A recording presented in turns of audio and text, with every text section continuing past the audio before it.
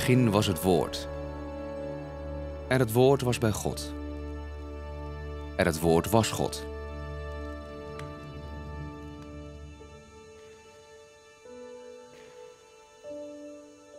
Het woord was bij God in het begin.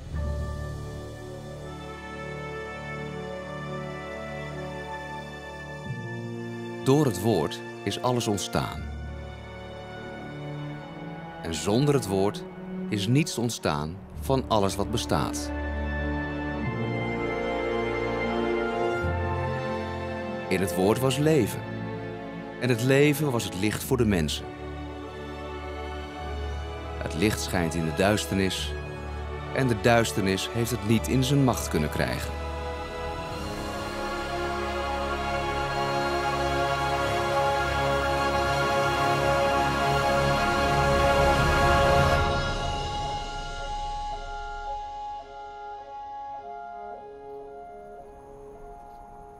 Iemand die door God was gezonden. Hij heette Johannes. Hij kwam om tegenover de mensen te getuigen van het licht en hen zo tot geloof te brengen. Johannes was niet zelf het licht, maar degene die over het licht vertelde. Het echte licht, dat in de wereld kwam om iedereen te verlichten. Het woord kwam in de wereld en heeft de wereld gemaakt. Maar de wereld wilde niets van het woord weten. Hij kwam in zijn eigen land, maar zijn eigen volk heeft hem niet aanvaard. Maar alle die hem wel aanvaard hebben en geloven in zijn naam, heeft hij het recht gegeven kinderen van God te worden. Zij worden opnieuw geboren. Niet op natuurlijke wijze, of vanuit menselijk verlangen, of omdat een mens dat wil, maar zij zijn uit God geboren. Het woord werd een mens en leefde een tijd lang onder ons. Hij was vol genade en waarheid en wij hebben gezien hoe groot hij is, de enige zoon van de Hemelse Vader. Johannes was zijn getuige en zei over hem: Dit is degene van wie ik zei dat er na mij iemand zou komen die belangrijker is dan ik, omdat hij er eerder was dan ik. Uit de overvloed die hij heeft, hebben wij alle genade op genade ontvangen. Want Mozes heeft ons ooit de wet gegeven, maar Jezus Christus bracht ons genade en waarheid. Niemand heeft ooit God gezien, maar zijn enige zoon, die één met hem is, heeft ons laten zien wie God is.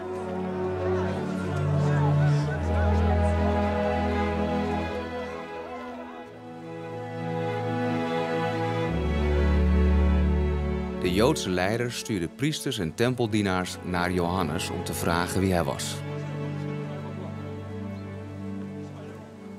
Ik ben de Christus niet, zei hij hun in alle openheid.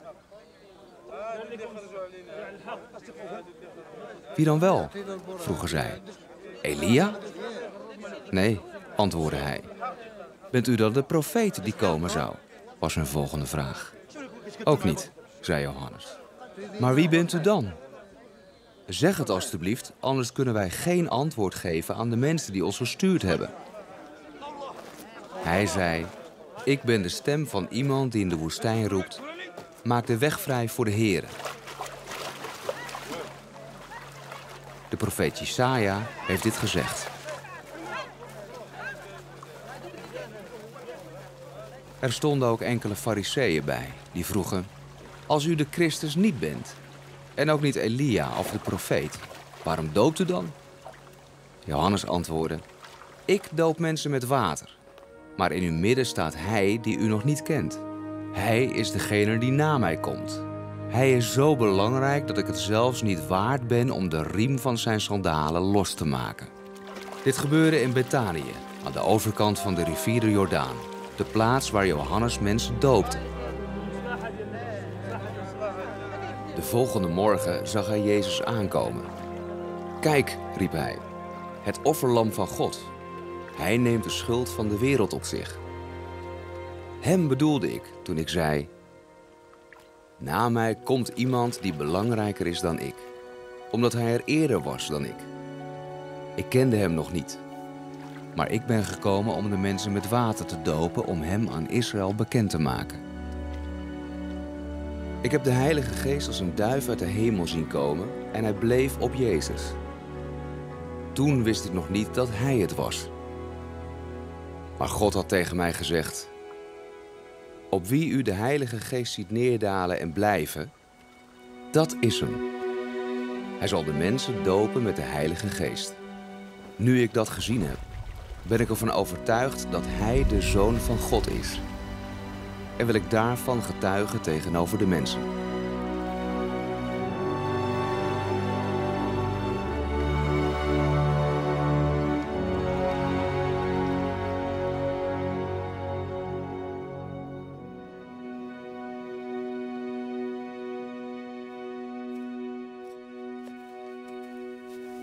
De volgende dag was Johannes op dezelfde plaats met twee van zijn leerlingen. Hij zag Jezus voorbij gaan en zei: Kijk, hij is het Lam van God. Toen zijn twee leerlingen dat hoorden, gingen zij Jezus achterna. Jezus merkte dat zij hem volgden. Hij keerde zich om en vroeg: Wat willen jullie? Ze vroegen: Rabbi, waar woont u? Rabbi betekent leermeester. Kom maar kijken, zei hij. Dus gingen zij met hem mee, zagen waar hij woonde en bleven de rest van de dag bij hem. Dit gebeurde rond vier uur s middags. Een van deze twee mannen was Andreas, de broer van Simon Petrus. Hij ontmoette zijn broer Simon en zei tegen hem: We hebben de Messias gevonden. Messias betekent Christus, gezalfde. En hij bracht Simon bij Jezus. Jezus keek Simon aan en zei: Jij bent Simon, de zoon van Johannes. Je krijgt een andere naam. Ik noem je voortaan Kefas. Kefas betekent Petrus, rots.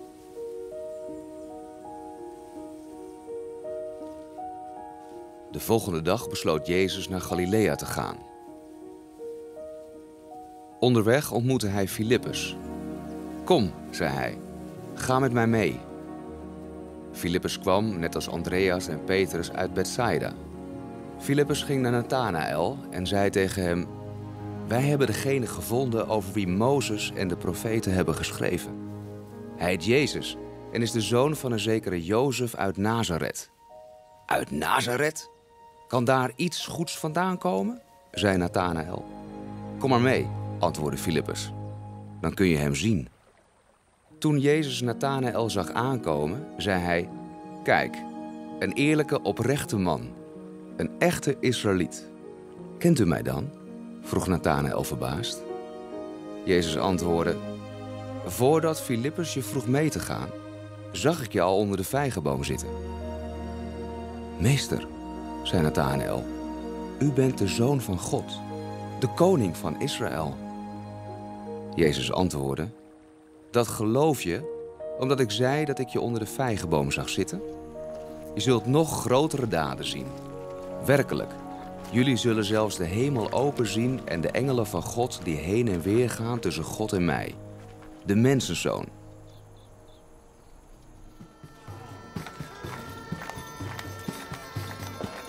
Twee dagen later was er een bruiloft in het dorp Cana in Galilea. Jezus' moeder was er. En ook Jezus en zijn leerlingen waren uitgenodigd.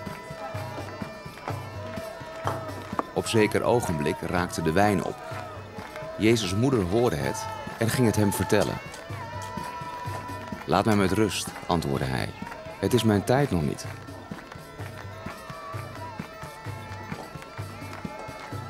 Zijn moeder zei tegen de bediende: Doe wat hij u zegt. Er stonden zes grote aarden kruiken, elk met een inhoud van zo'n 100 liter. Die werden bij bepaalde gelegenheden met water gevuld, zodat men zich volgens de Joodse voorschriften kon wassen. Jezus zei tegen de bediende: Vul al die kruiken met water. Toen zij dat gedaan hadden, zei hij: Schep er nu wat uit en laat de ceremoniemeester ervan proeven. Zij gaven ervan aan de ceremoniemeester, die niet wist wat er gebeurd was.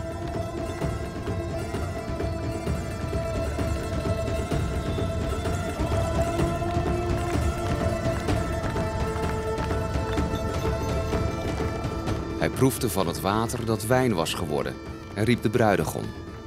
Hij zei tegen hem: Wat een lekkere wijn! Hoe is het mogelijk?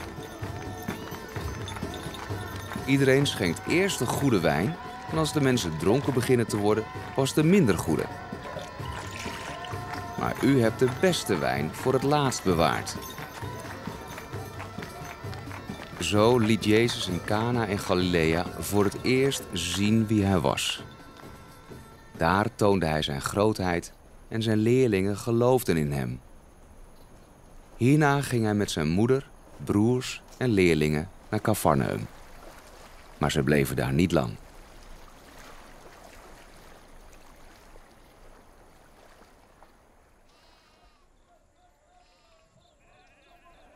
Weldra zou Pesach, het Joodse paasfeest, beginnen. Daarom vertrok Jezus naar Jeruzalem.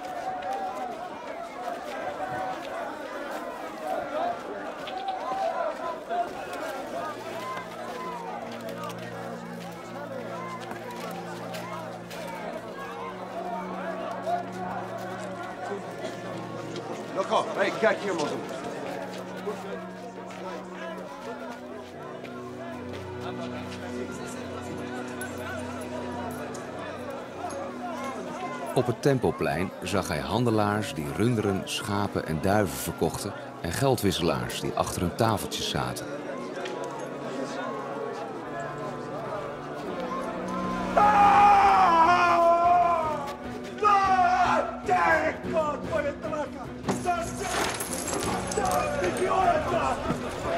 Hij knoopte een paar stukken touw aan elkaar en joeg hen daarmee met hun dieren de tempel uit.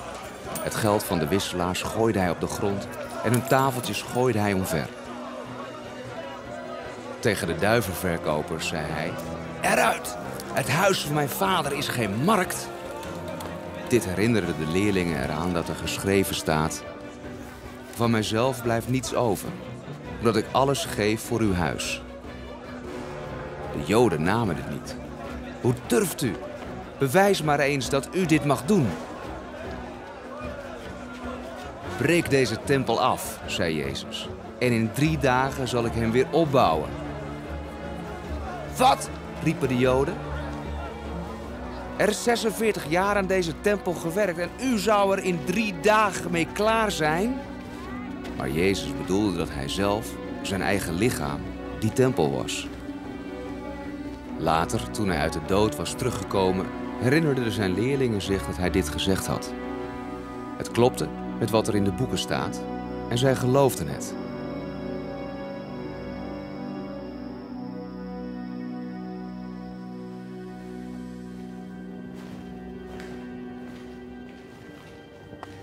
Door de wonderen die Jezus tijdens het paasfeest in Jeruzalem deed, gingen veel mensen in hem geloven.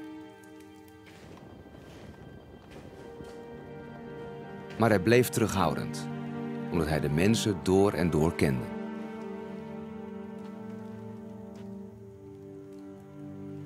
Niemand hoefde hem iets over de mens te vertellen. Want hij wist wat er in een mens omgaat.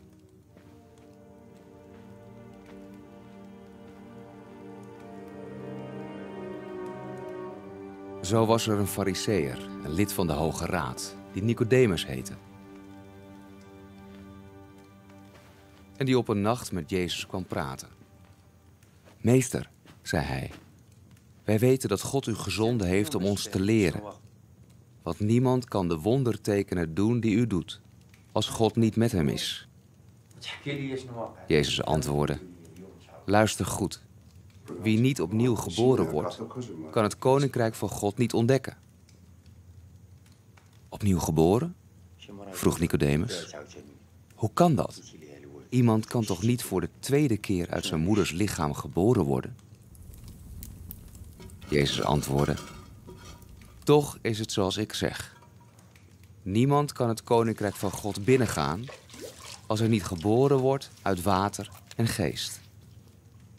Uit mensen komt menselijk leven voort. Maar uit de geest van God komt geestelijk leven voort. Het is dus helemaal niet zo vreemd dat ik zei dat u opnieuw geboren moet worden. De wind waait waarheen hij wil. Je hoort hem wel, maar je weet niet waar hij vandaan komt en waar hij heen gaat.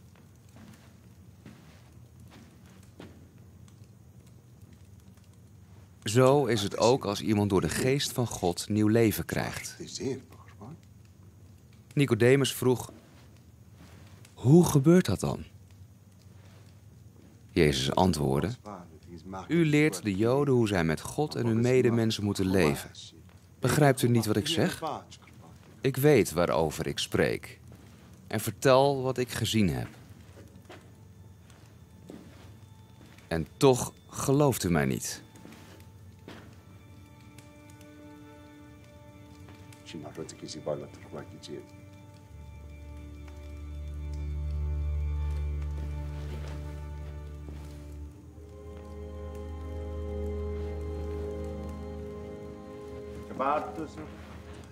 Als u niet eens gelooft wat ik over gewone aardse dingen zeg, hoe zult u dan geloven wat ik over de hemelse dingen zeg? Er is nog nooit iemand bij God geweest behalve ik, de mensenzoon, die bij hem vandaan komt. Zoals Mozes in de woestijn een koperen slang omhoog hield, zo moet ook ik, de mensenzoon, omhoog geheven worden, opdat ieder die in mij gelooft eeuwig leven zal hebben. Want God heeft zoveel liefde voor de wereld dat Hij zijn enige zoon heeft gegeven, zodat ieder die in Hem gelooft niet verloren gaat, maar eeuwig leven heeft. God heeft zijn zoon niet naar de wereld gestuurd om de wereld te veroordelen, maar om haar door Hem van de ondergang te redden. Wie zijn vertrouwen op Jezus stelt, wordt niet veroordeeld. Maar wie niet gelooft, is al veroordeeld. Omdat hij geen vertrouwen heeft gehad in de naam van Gods enige zoon.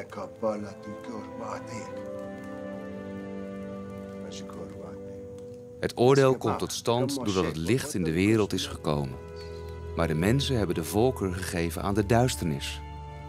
Dat komt omdat zij slechte dingen hebben gedaan. Want wie zondigt, heeft een hekel aan het licht. Hij ontwijkt het uit angst dat al die slechte dingen aan het licht zullen komen. Maar wie Gods wil doet, komt tot het licht. Zodat van alles wat hij doet, gezien kan worden dat God het is die daarin werkzaam is.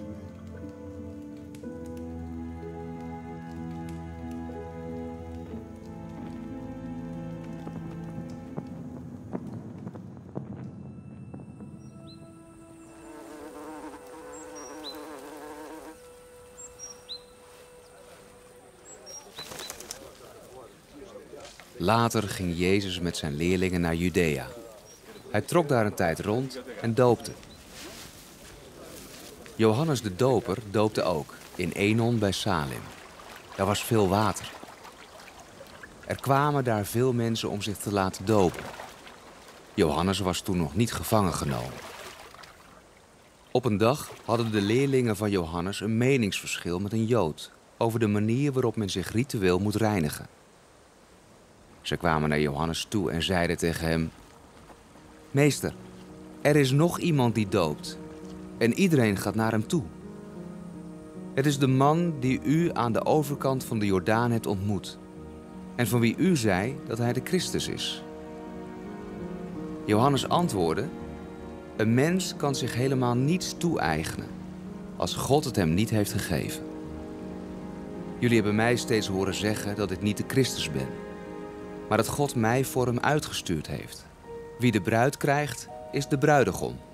De vriend van de bruidegom hoort hem en is blij als hij de stem van de bruidegom hoort. Daarom ben ik blij als de mensen naar hem toe gaan. Hij moet groter worden en ik steeds kleiner. Ik ben van de aarde en spreek de taal van de aarde. Hij komt uit de hemel en is belangrijker dan enig ander. Hij staat boven alle andere mensen. Hij vertelt wat hij gezien en gehoord heeft, maar niemand gelooft hem. Wie hem wel gelooft, bevestigt daarmee dat God een en al waarheid is. Hij is door God gestuurd en geeft de woorden van God door. God geeft hem zijn geest zonder beperking. De Vader houdt van zijn zoon en heeft hem alle macht gegeven. Wie zich aan de zoon toevertrouwt, heeft eeuwig leven. Wie de zoon ongehoorzaam is, zal dat leven niet ontvangen. Integendeel, de straf van God blijft op hem rusten.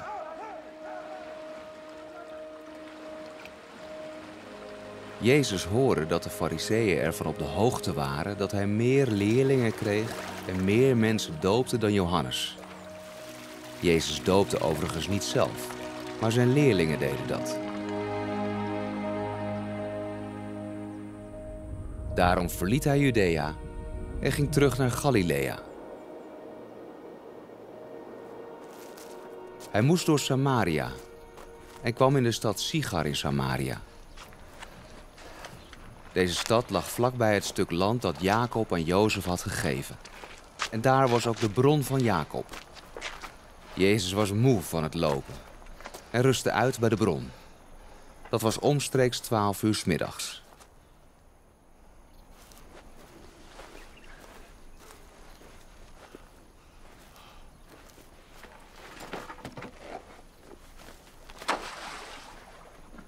Er kwam een Samaritaanse vrouw waterputten.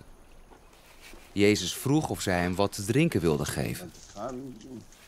Hij was op dat moment alleen omdat zijn leerlingen naar de stad waren om eten te kopen. Dat begrijp ik niet, zei de vrouw verbaasd. Ik ben een Samaritaanse en u bent een Jood. Welke Jood vraagt de Samaritaanse nu iets te drinken? Want Joden gaan niet met Samaritanen om. Als u wist wat God geeft en wie ik ben die u om water heeft gevraagd, antwoordde Jezus, dan zou u mij om water hebben gevraagd en ik zou u levend water hebben gegeven. Maar heren, zei zij, u hebt geen kruik en de put is diep. Waar haalt u dat levende water dan vandaan? Bent u dan meer dan onze stamvader Jacob? Hij heeft deze put gegraven. En zijn zoons, zijn vee en hijzelf hebben er water uitgedronken.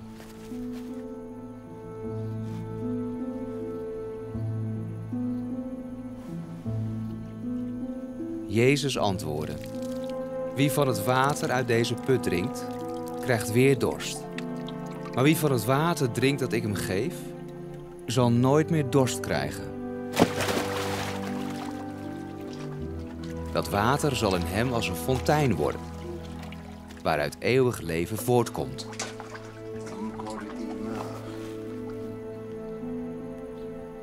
De vrouw zei: Heere, geef mij van dat water.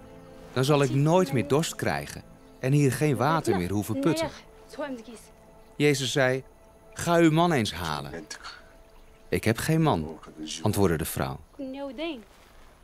Dat is waar, zei Jezus.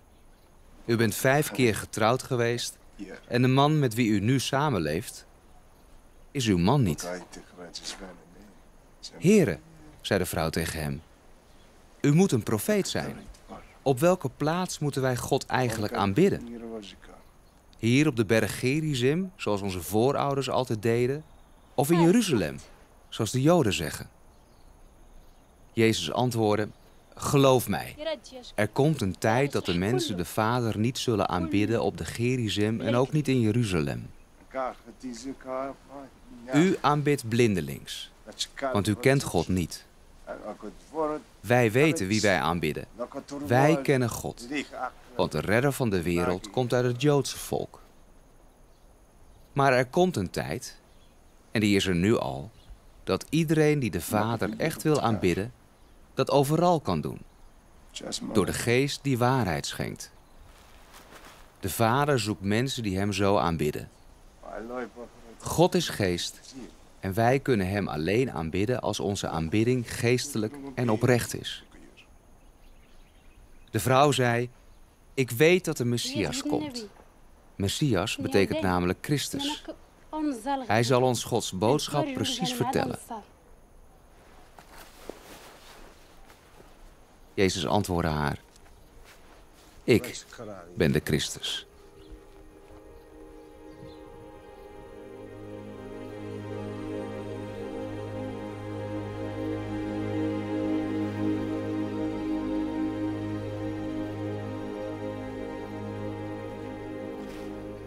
Op dat moment kwamen zijn leerlingen eraan. Ze vonden het vreemd dat hij met een vrouw sprak, maar geen van hen zei er iets van. De vrouw liet haar kruik bij de put staan en ging de stad in. Kom mee, riep zij naar de mensen. Er is daar iemand die mij wist te vertellen wat ik mijn leven allemaal gedaan heb. Zou hij de Christus kunnen zijn? De mensen liepen de stad uit om hem te zien. Ondertussen vroegen de leerlingen of Jezus iets wilde eten. Nee, zei hij, ik heb iets te eten dat jullie niet kennen. Zou iemand hem iets te eten hebben gebracht? Vroegen ze elkaar. Jezus antwoordde: Mijn voeding is het doen van de wil van God, die mij gezonden heeft, en het volbrengen van zijn werk. Zegt men niet dat er pas vier maanden na de zaaitijd geoogst kan worden? Maar kijk eens rond. Overal liggen de velden rijp om te oogsten. De maaier krijgt zijn loon al en haalt de eerste opbrengst voor het eeuwige leven binnen. Nu zijn de zaaier en de maaier blij. Want de een zaait en de ander maait. Ik heb jullie erop uitgestuurd om te maaien wat je niet hebt gezaaid. Anderen hebben het voorbereidende werk gedaan en jullie mogen de oogst binnenhalen.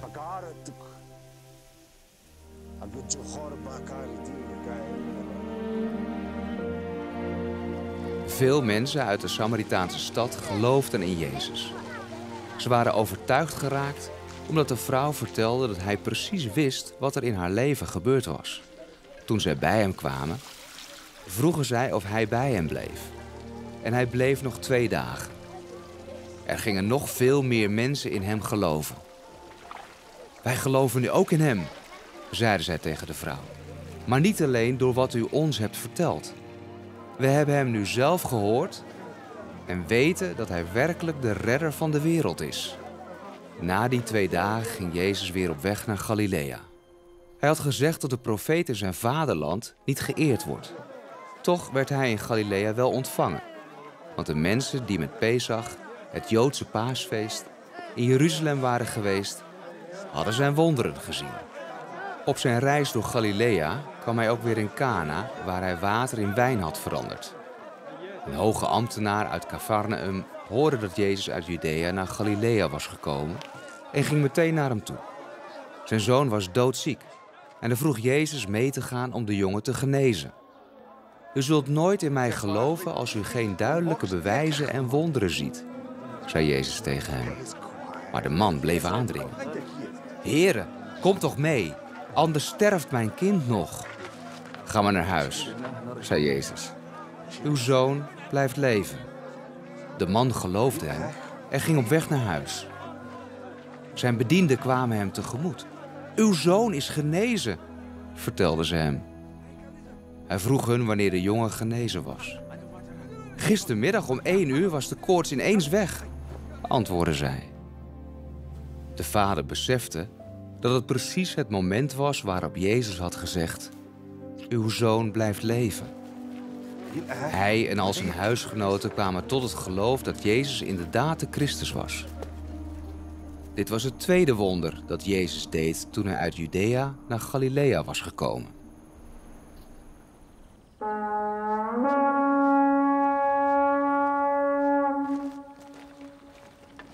Jezus ging enige tijd later terug naar Jeruzalem om een van de Joodse feesten bij te wonen. Bij de schaapspoort in Jeruzalem was de vijver Betzata met vijf zuilengalerijen. In die zuilengalerijen lagen talloze zieke mensen, zoals blinden, lammen en kreupelen, te wachten tot het water in beweging zou komen.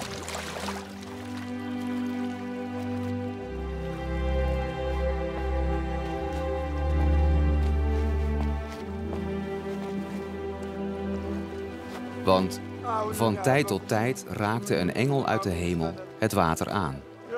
Wie dan het eerst in het water stapte, werd genezen, wat voor ziekte hij ook had. Er lag ook een man die al 38 jaar ziek was.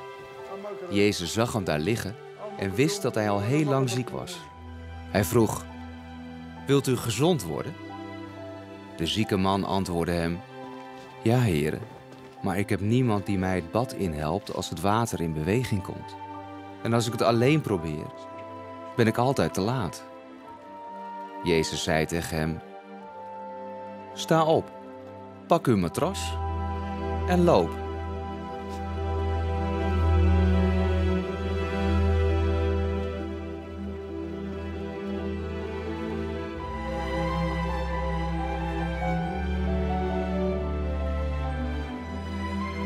De man werd direct gezond.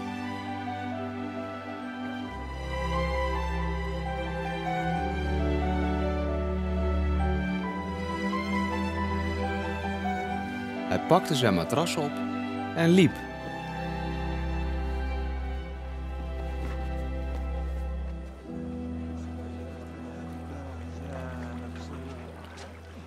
Nu was het die dag Sabbat. Daarom zeiden de Joden tegen de man die net genezen was: Het is Sabbat. Dan mag u die matras niet dragen.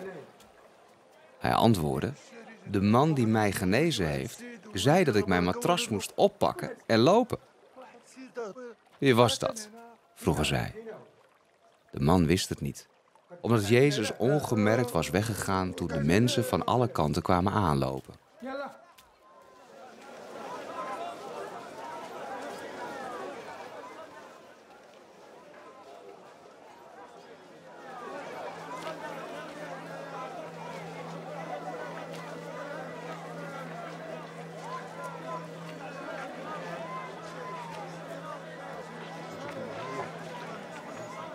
Later ontmoette Jezus hem in de tempel en zei tegen hem: Nu u gezond bent geworden, wil ik u dit nog zeggen. Zondig niet meer, want anders zal u iets ergers overkomen. De man verliet de tempel en vertelde de Joden dat het Jezus was die hem had genezen. Omdat Jezus dat op de Sabbat had gedaan, wilden de Joden hem straffen.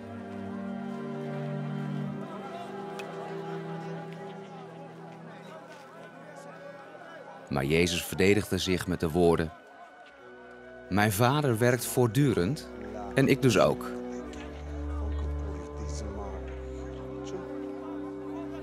Omdat hij dat had gezegd, wilden ze hem doden.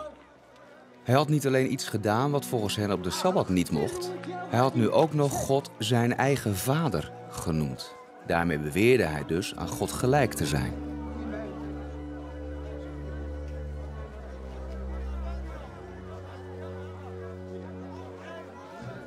Het is waar wat ik zeg, zei Jezus. De zoon kan niets uit zichzelf. Hij doet alleen wat zijn vader hem voordoet. In feite doet de zoon hetzelfde als zijn vader. De vader houdt van de zoon en laat hem steeds zien wat hij doet. De vader zal hem nog grotere dingen laten doen. U zult uw ogen nauwelijks kunnen geloven. Zoals de Vader de doden levend maakt, zo zal ook de Zoon levend maken wie hij wil. De Vader spreekt geen oordeel uit, maar heeft zijn Zoon opgedragen in zijn plaats recht te spreken. Daarom moet iedereen evenveel eer geven aan de Zoon als aan de Vader. Wie de Zoon niet eert, eert ook de Vader niet die hem gestuurd heeft. Het is zoals ik zeg. Wie naar mijn woorden luistert en gelooft in hem die mij gestuurd heeft, heeft eeuwig leven. Over zo iemand wordt geen oordeel uitgesproken, maar die is overgeplaatst uit de dood in het leven. Geloof mij, er komt een tijd dat de doden de stem van de Zoon van God zullen horen. Die tijd is er nu al.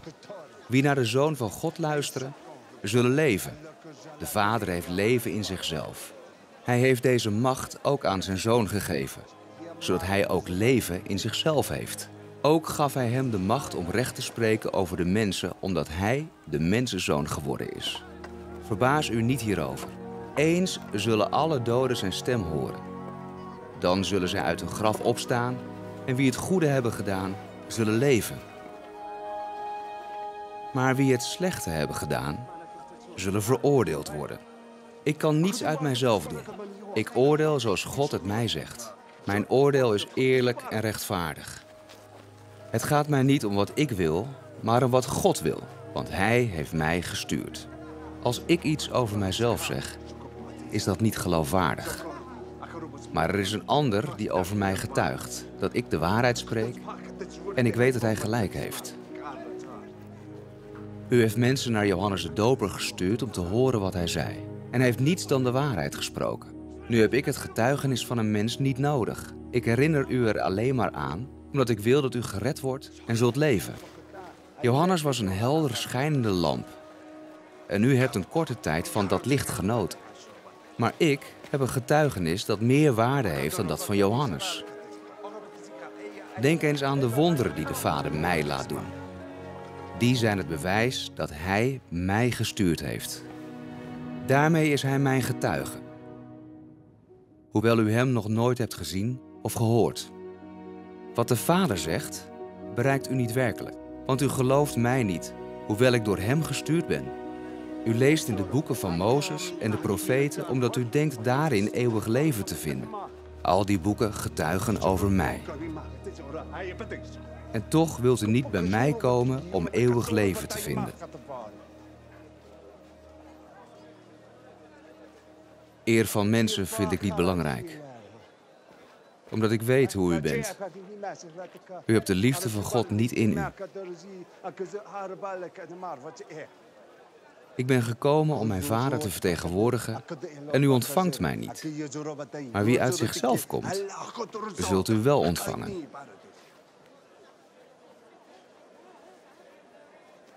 U vindt het zo belangrijk wat de mensen van u zeggen, dat u vergeet dat het erom gaat wat God van u denkt. Daarom kunt u niet in mij geloven. Denk maar niet dat ik u bij de Vader zal aanklagen. Dat doet Mozes, op wie u uw hoop gevestigd hebt. Maar u hebt hem niet echt geloofd. Anders zou u mij ook geloven. Mozes heeft immers geschreven dat ik zou komen. Als u niet gelooft wat hij heeft geschreven, hoe zult u dan geloven wat ik zeg?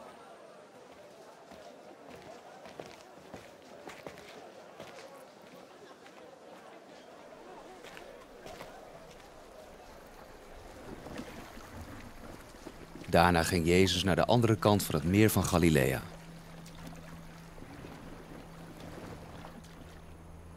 Een menigte mensen volgden hem omdat zij zagen dat hij de zieken genas.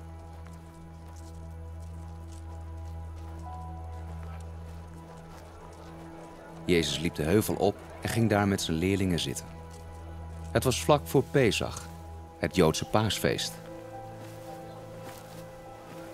Toen Jezus al die mensen zag aankomen, vroeg hij aan Filippus: Waar kunnen wij brood vandaan halen om die mensen te eten te geven? Niet dat Jezus eten wilde kopen. Hij was iets anders van plan, maar was alleen benieuwd wat Filippus zou antwoorden. Filippus zei: Al kopen wij voor 200 zilverstukken brood, dan hebben wij nog niet genoeg om iedereen te eten te geven. Andreas, de broer van Simon Petrus, mengde zich in het gesprek. Hier is een jongen die vijf gerstebroden en twee gedroogde vissen heeft. Maar wat hebben wij daaraan voor zoveel mensen? Jezus zei tegen zijn leerlingen: Laat alle mensen in het gras gaan zitten.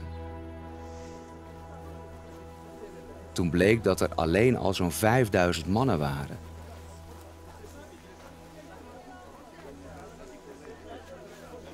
Toen iedereen zat, nam Jezus de broden, dankte God ervoor en begon het brood uit te delen.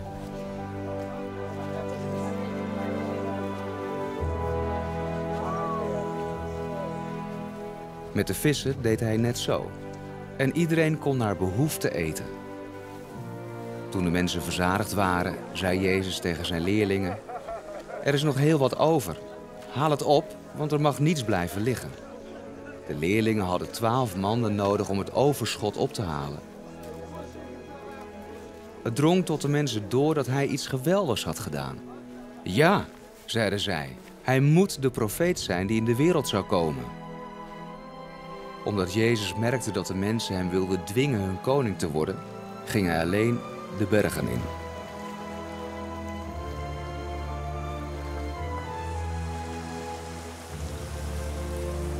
Bij het vallen van de avond daalden zijn leerlingen de berg af en kwamen bij het meer.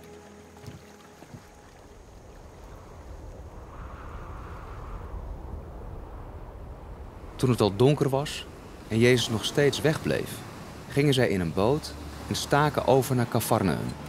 plotseling begon het vreselijk te waaien. Er kwamen er hoge golven op het meer.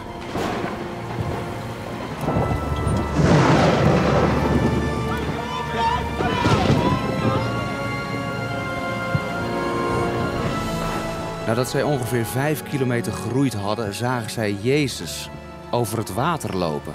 Hij kwam naar hun boot toe. Zij werden bang. Maar hij zei: Ik ben het. Jullie hoeven niet bang te zijn. Kom aan boord, zeiden ze.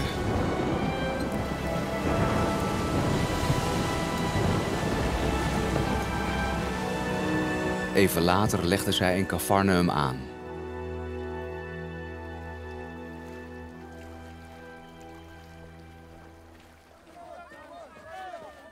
De volgende morgen kwamen er weer veel mensen naar de plaats waar Jezus het brood had uitgedeeld.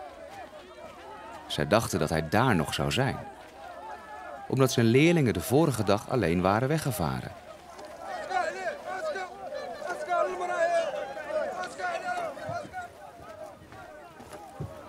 Maar toen zij zagen dat Jezus er niet was, stapten zij in een paar boten die uit Tiberias waren gekomen en staken over naar Cafarnaum om Jezus te zoeken.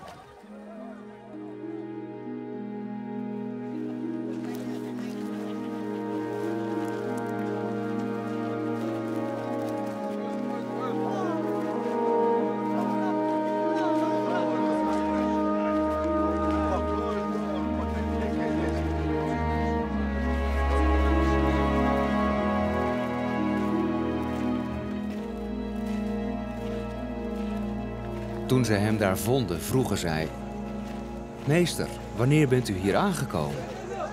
Ik weet wel waarom u mij zoekt, antwoordde hij.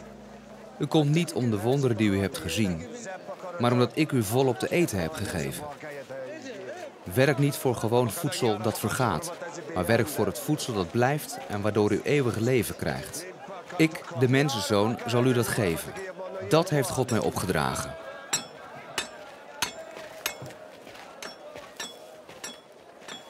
Zij vroegen: Hoe kunnen wij doen wat God wil? Jezus antwoordde: U moet in mij geloven. Dat is de wil van God, want ik ben door Hem gestuurd. Bewijs het dan eens, zeiden zij. Geef ons het teken van uw macht. Wat kunt u doen? Onze voorouders hadden in de woestijn steeds te eten. Er staat in de boeken dat zij van Mozes brood uit de hemel kregen. Jezus zei: Dat brood uit de hemel hebben zij niet van Mozes gekregen, maar van mijn vader.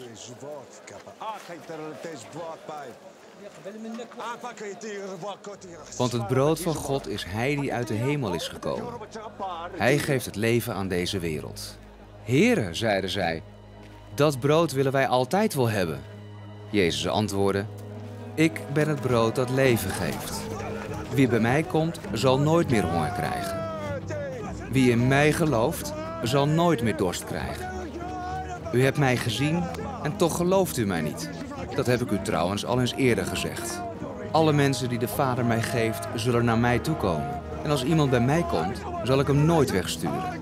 Ik ben niet uit de hemel gekomen om mijn eigen wil te doen, maar de wil van Hem die mij gestuurd heeft. God wil niet dat ik een van deze mensen die Hij aan mij gegeven heeft, verlies, maar dat ik ze op de laatste dag uit de dood laat opstaan. Mijn Vader wil dat ieder die inziet wie zijn zoon is en op Hem vertrouwt, eeuwig leven heeft. En ik zal hen op de laatste dag uit de dood opwekken. De Joden begonnen onrust te stoken, omdat hij had gezegd: Ik ben het brood dat uit de hemel is gekomen. Zij zeiden tegen elkaar: Die man is niemand anders dan Jezus, de zoon van Jozef. Wij kennen zijn vader en moeder. Hoe durft hij dan te zeggen dat hij uit de hemel is gekomen?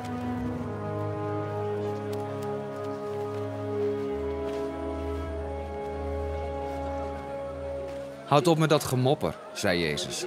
Niemand kan bij mij komen als de Vader hem niet zo ver brengt.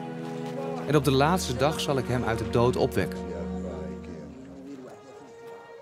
De profeet Jesaja heeft geschreven: Ze zullen allemaal door God onderwezen worden. Ieder die de stem van God hoort en naar hem luistert, komt bij mij. Niet dat ooit iemand de Vader heeft gezien, Alleen hij die van God vandaan komt, heeft hem gezien. Luister goed. Wie in mij gelooft, heeft eeuwig leven. Ik ben het brood dat leven geeft. Uw voorouders hebben in de woestijn manna gegeten en zijn toch gestorven. Maar met het brood uit de hemel waar ik over spreek, is het anders. Wie hiervan eet, zal niet sterven. Ik ben het levende brood dat uit de hemel is gekomen. Wie van dit brood eet, zal altijd blijven leven. Het brood dat ik voor het leven van de wereld zal geven, is mijn lichaam.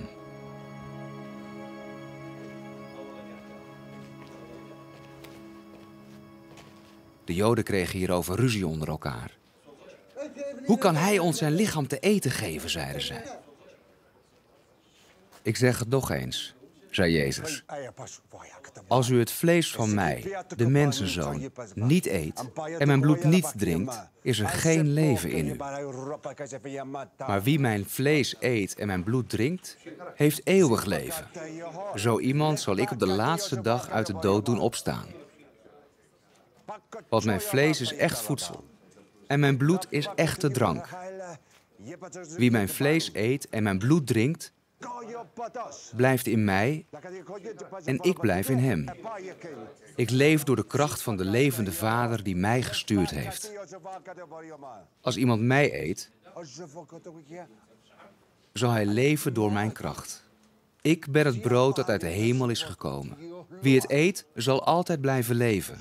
Het is heel ander brood dan uw voorouders vroeger hebben gekregen, want die zijn tenslotte toch gestorven. Hij zei deze dingen terwijl hij in de synagoge van Cafarnaum aan het woord was. Veel van zijn leerlingen hadden moeite met deze woorden en zeiden: Zijn woorden zijn moeilijk te verteren. Wie kan dit aanhoren? Jezus wist wel dat zij hierover bezig waren en vroeg hen: Erger ik u met mijn woorden? En als u mij, de mensenzoon, naar de hemel ziet teruggaan, wat dan? Het is de geest die leven geeft. Het lichamelijke op zichzelf heeft geen nut. Alles wat ik u gezegd heb, is geest en leven.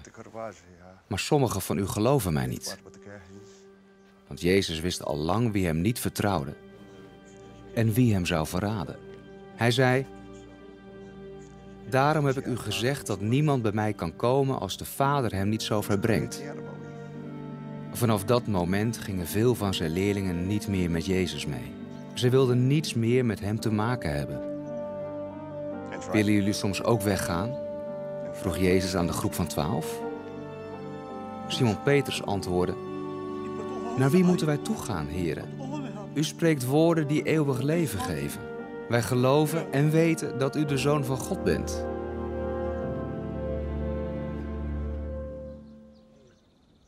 Jezus zei: Ik heb jullie alle twaalf uitgekozen.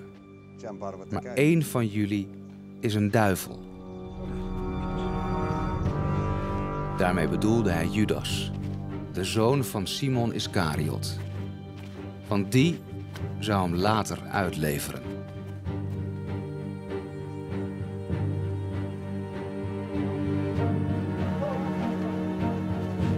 Hierna trok Jezus rond door Galilea.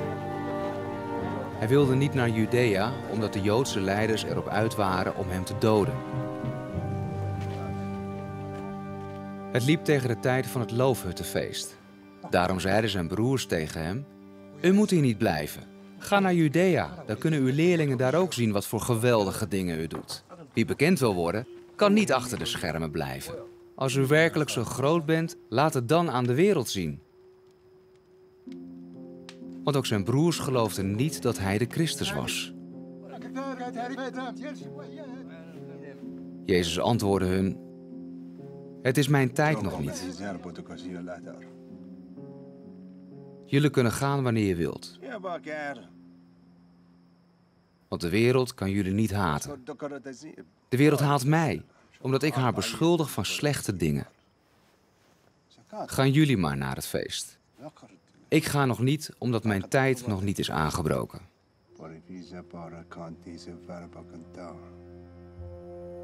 En hij bleef in Galilea, zoals hij had gezegd.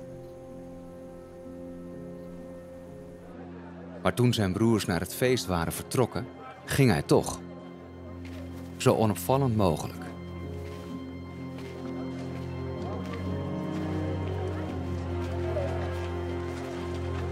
De Joodse leiders zochten hem tussen de feestgangers en vroegen overal of iemand hem ook gezien had. Er was een onzekere stemming onder het volk en de meningen over hem waren verdeeld. Sommigen zeiden: hij is een goed mens. Maar anderen zeiden: oh nee, hij misleidt de massa. Niemand sprak openlijk over hem en ze waren allemaal bang dat de Joodse leiders het zouden horen. Halverwege de feestweek ging Jezus naar de tempel en sprak de mensen toe. De Joodse leiders waren verbaasd en zeiden: Waar haalt hij die kennis vandaan?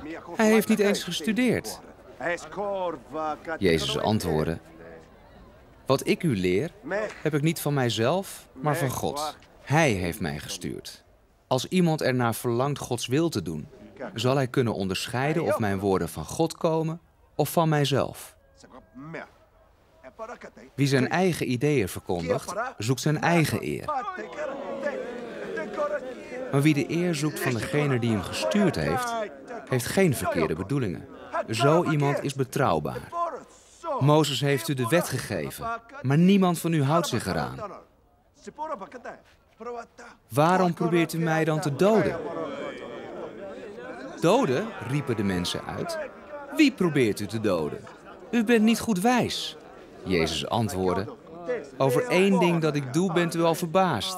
U snijdt de voorhuid van jongens weg als ze een week oud zijn, of het nu sabbat is of niet. Daarmee doet u wat Mozes heeft gezegd. Dit besnijden is trouwens al een heel oud gebruik van lang voor Mozes. Het op tijd besnijden is dus belangrijker dan het houden van de sabbat. Waarom wordt u dan boos als ik op de sabbat iemand gezond maak? Laat u niet leiden door uw vooroordelen, maar wees eerlijk en rechtvaardig.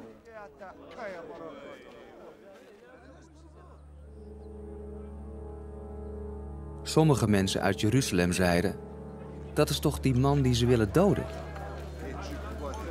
Hij spreekt zomaar in het openbaar en niemand zegt er wat van. Misschien is de Hoge Raad erachter gekomen dat hij toch de Christus is. Maar niemand weet waar de Christus vandaan komt. En van deze man weten wij het wel. Terwijl Jezus in de tempel stond te spreken, riep hij: U kent mij en weet waar ik vandaan kom. Maar ik ben niet op eigen gezag gekomen. Iemand die betrouwbaar is, heeft mij gezonden en u kent hem niet. Ik wel, want ik kom bij hem vandaan. Hij heeft mij gestuurd. Om deze uitspraak wilden zij hem grijpen, maar niemand deed het, want zijn tijd was nog niet aangebroken. Velen geloofden in hem en zeiden: Zou de Christus nog meer wonderen kunnen doen dan deze man? De fariseeën hoorden wat er onder de mensen over hem gefluisterd werd. Daarom stuurden zij in overleg met de leidende priesters enkele tempeldienaars om hem gevangen te nemen. Ik blijf nog maar een korte tijd bij u, zei Jezus. Maar daarna ga ik terug naar hem die mij gestuurd heeft. U zult mij zoeken, maar niet vinden. Want waar ik ben, kunt u niet komen. De Joden keken elkaar verwonderd aan. Waar wil die man naartoe dat wij hem niet zouden kunnen vinden? Is hij misschien van plan naar de Joden in het buitenland te gaan en de andere volken zijn leer te brengen? Wat zou hij bedoelen met: U zult mij zoeken, maar niet vinden? En met waar ik ben, kunt u niet komen?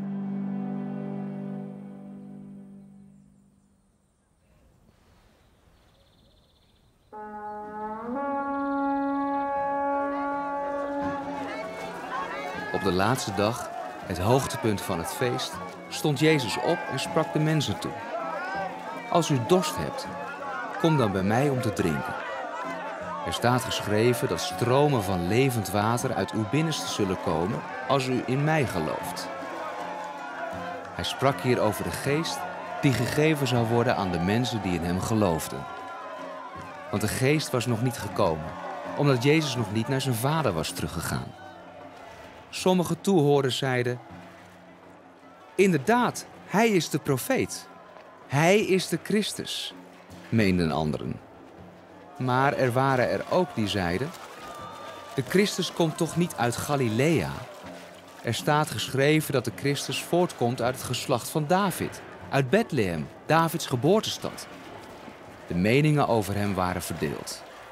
Sommigen wilden hem grijpen, maar niemand deed het.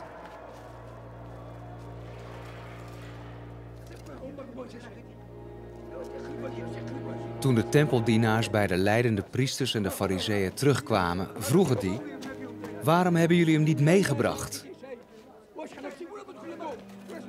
Het is zo bijzonder wat die man zegt, antwoordden de tempeldienaars.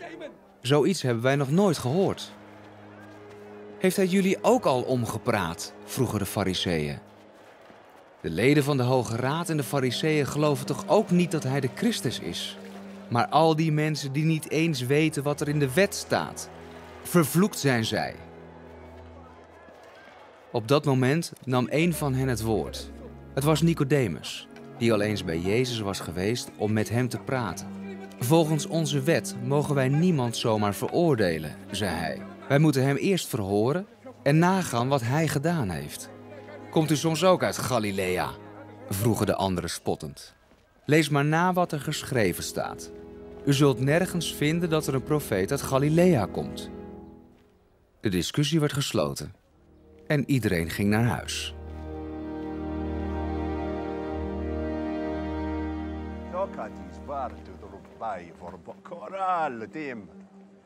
Jezus bracht de nacht door op de Olijfberg.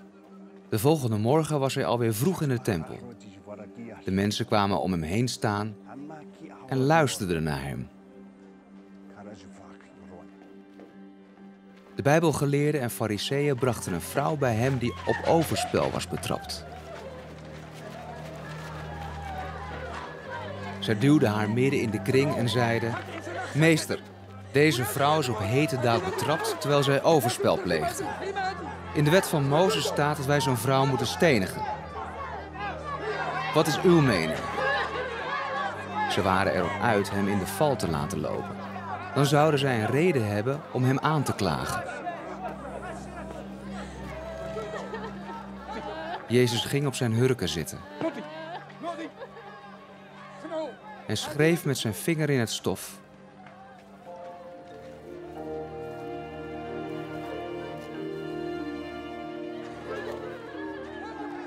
Toen zij bleven aandringen, stond hij op en zei: Laat hij die zelf nooit zondigt, de eerste steen mag gooien.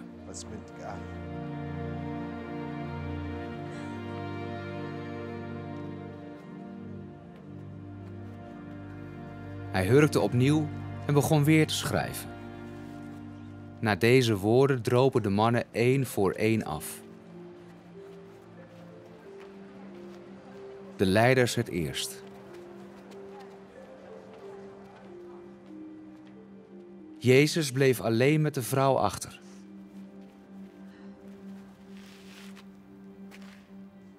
Hij stond op en vroeg: Waar is iedereen?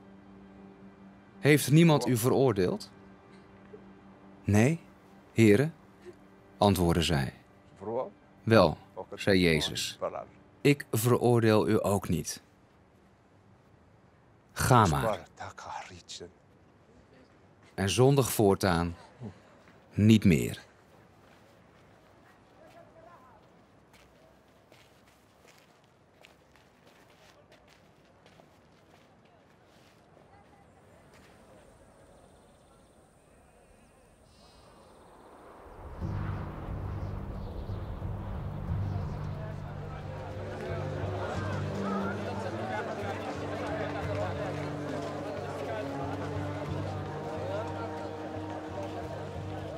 Jezus richtte zich weer tot de mensen en zei: Ik ben het licht van de wereld. Wie mij volgt, zal nooit in de duisternis leven. Maar hij zal het licht hebben dat leven geeft. Daar zegt u nogal wat, merkte de fariseeën op. Er is geen enkel bewijs dat u de waarheid spreekt. Jezus antwoordde: Toch is het waar. Ook al ben ik het zelf die het zegt. Want ik weet waar ik vandaan kom en waar ik heen ga. Maar u weet daar niets van. U oordeelt met menselijke maatstaven.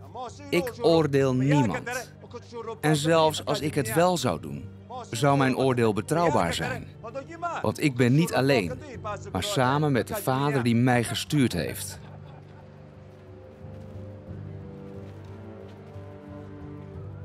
In uw wet staat dat als twee getuigen hetzelfde zeggen, hun getuigenis rechtsgeldig is. Ik ben zelf de enige getuige.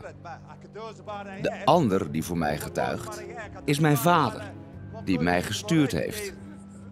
Waar is uw vader dan? Vroegen zij. Hij antwoordde: U weet niet wie ik ben en ook niet wie mijn vader is. Als u mij zou kennen, zou u ook mijn vader kennen. Dit zei Jezus terwijl hij de mensen toesprak in het gedeelte van de tempel waar de collectekisten stonden. Hij werd niet gevangen genomen, omdat het zijn tijd nog niet was.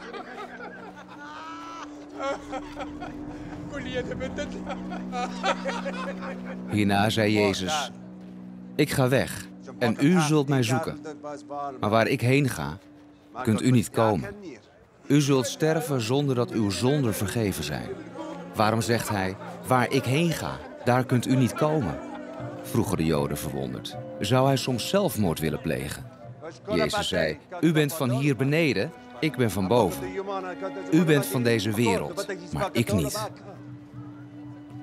Daarom heb ik gezegd dat u zult sterven zonder dat uw zonden vergeven zijn.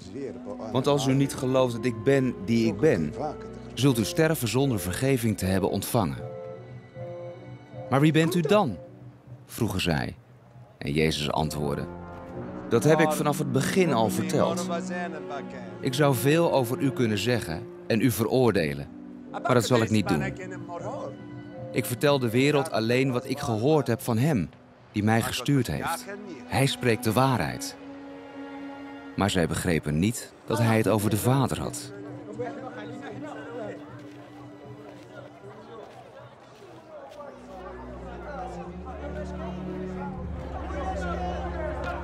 Jezus zei: Wanneer u mij, de mensenzoon, omhoog geheven en gedood hebt, zult u weten wie ik ben. Dan zal het u duidelijk zijn dat ik niet mijn eigen wil doe, maar alleen zeg wat de Vader mij geleerd heeft.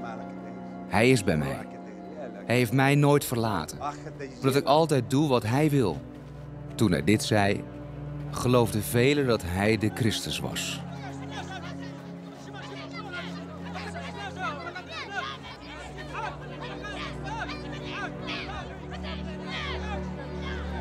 Jezus zei tegen de Joden die in hem geloofden: Als u zich houdt aan wat ik zeg, bent u werkelijk mijn leerlingen. Dan zult u de waarheid kennen. En door de waarheid bevrijd worden. Wij zijn nooit slaven geweest, zeiden zij. Wij stammen af van Abraham. Hoe kunt u dan zeggen dat wij bevrijd moeten worden?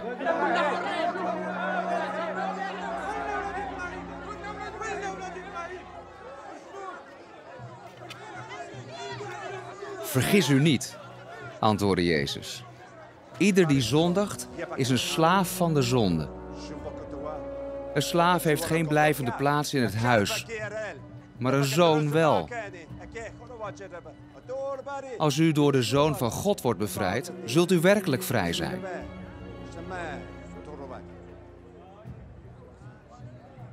Ik weet heel goed dat u van Abraham afstamt. Toch probeert u mij te doden, omdat mijn boodschap niet tot uw hart doordringt. Ik vertel wat ik bij mijn vader gezien heb. En u doet wat u van uw vader hebt gehoord. Abraham is onze vader, zeiden zij. Als u kinderen van Abraham bent, antwoordde Jezus, volg dan zijn goede voorbeeld. Maar in plaats daarvan probeert u mij te doden. Ik heb u nog wel de waarheid verteld, die ik van God gehoord heb. Zoiets zou Abraham nooit doen. U doet precies hetzelfde als uw echte vader. Wij zijn niet uit ontucht geboren. protesteerde zij. Niemand anders dan God is onze vader. Jezus zei: Als God uw vader was, zou u van mij houden. Want ik ben van God uit naar u toegekomen. Ik ben niet uit mijzelf gekomen, maar God heeft mij gestuurd. Waarom begrijpt u niet wat ik zeg? Omdat u niet in staat bent mijn woorden aan te horen. U bent kinderen van de duivel. En doet graag wat hij wil.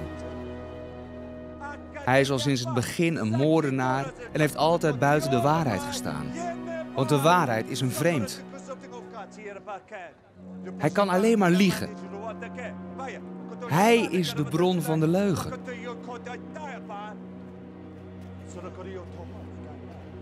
Omdat ik de waarheid spreek, gelooft u mij niet.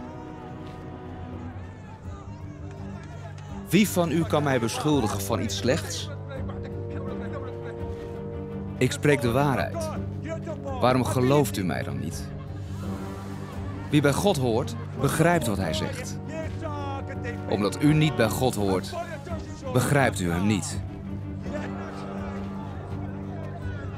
Hebben wij niet gezegd dat u een Samaritaan bent? zeiden de Joden. U bent bezeten. Ik ben niet bezeten, antwoordde Jezus. Ik eer mijn vader, maar u doet niets anders dan mij beledigen. Ik ben overigens niet op mijn eigen eer uit. God geeft mij eer. En hij is degene die oordeelt. Onthoud dit. Wie doet wat ik zeg, zal nooit sterven. Nu weten we zeker dat u bezeten bent, zeiden de Joden. Abraham en de profeten zijn allemaal gestorven. En u beweert dat ieder die doet wat u zegt, niet zal sterven? U denkt toch zeker niet dat u meer bent dan onze stamvader Abraham? Hij en de profeten zijn gestorven. Wat verbeeldt u zich wel?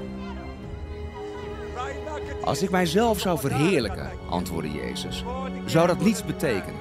Maar mijn vader verheerlijkt mij. En u zegt dat hij uw God is. U hebt hem nooit leren kennen. Ik ken hem wel. Als ik zou zeggen dat ik hem niet ken, zou ik een leugenaar zijn, net als u. Maar ik ken hem en doe wat hij zegt. Abraham keek met blijdschap uit naar mijn komst. Hij zag mij komen en was erg blij. U bent nog geen vijftig jaar en u hebt Abraham al gezien? zeiden de Joden. Het is zoals ik zeg, antwoordde Jezus. Ik ben al van voordat Abraham werd geboren. Dit was voor hen aanleiding om stenen te pakken met de bedoeling hem te stenigen. Maar Jezus verliet ongemerkt de tempel.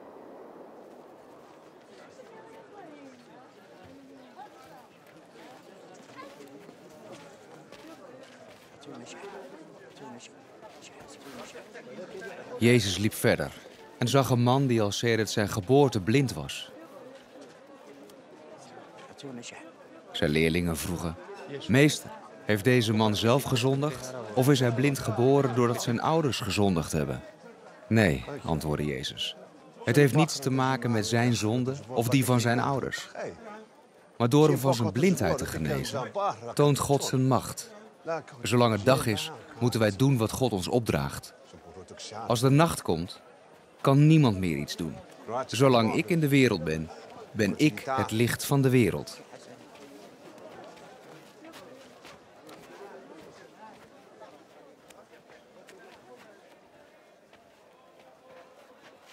Daarna spuugde hij op de grond en maakte met zijn speeksel wat modder.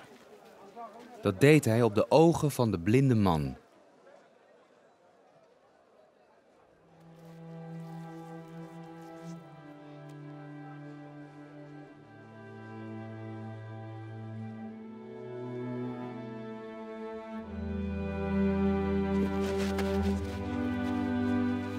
En zei: Ga u wassen in de vijver van Siloam. Siloam betekent gezondene. De man ging erheen en waste zich.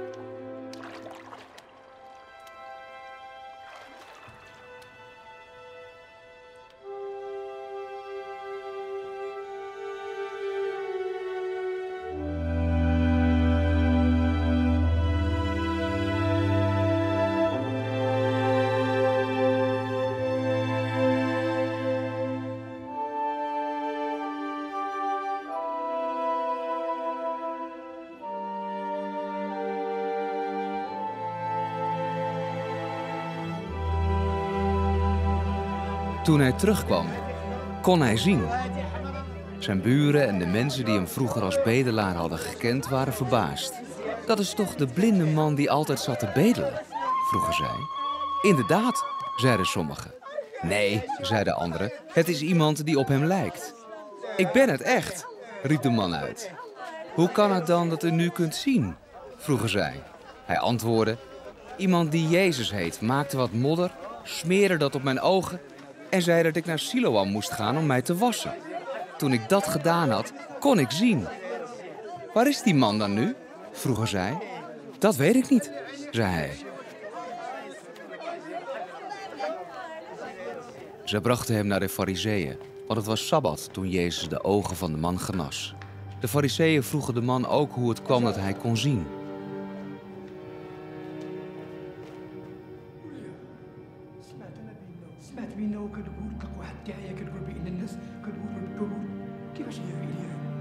Hij antwoordde: Hij deed wat modder op mijn ogen.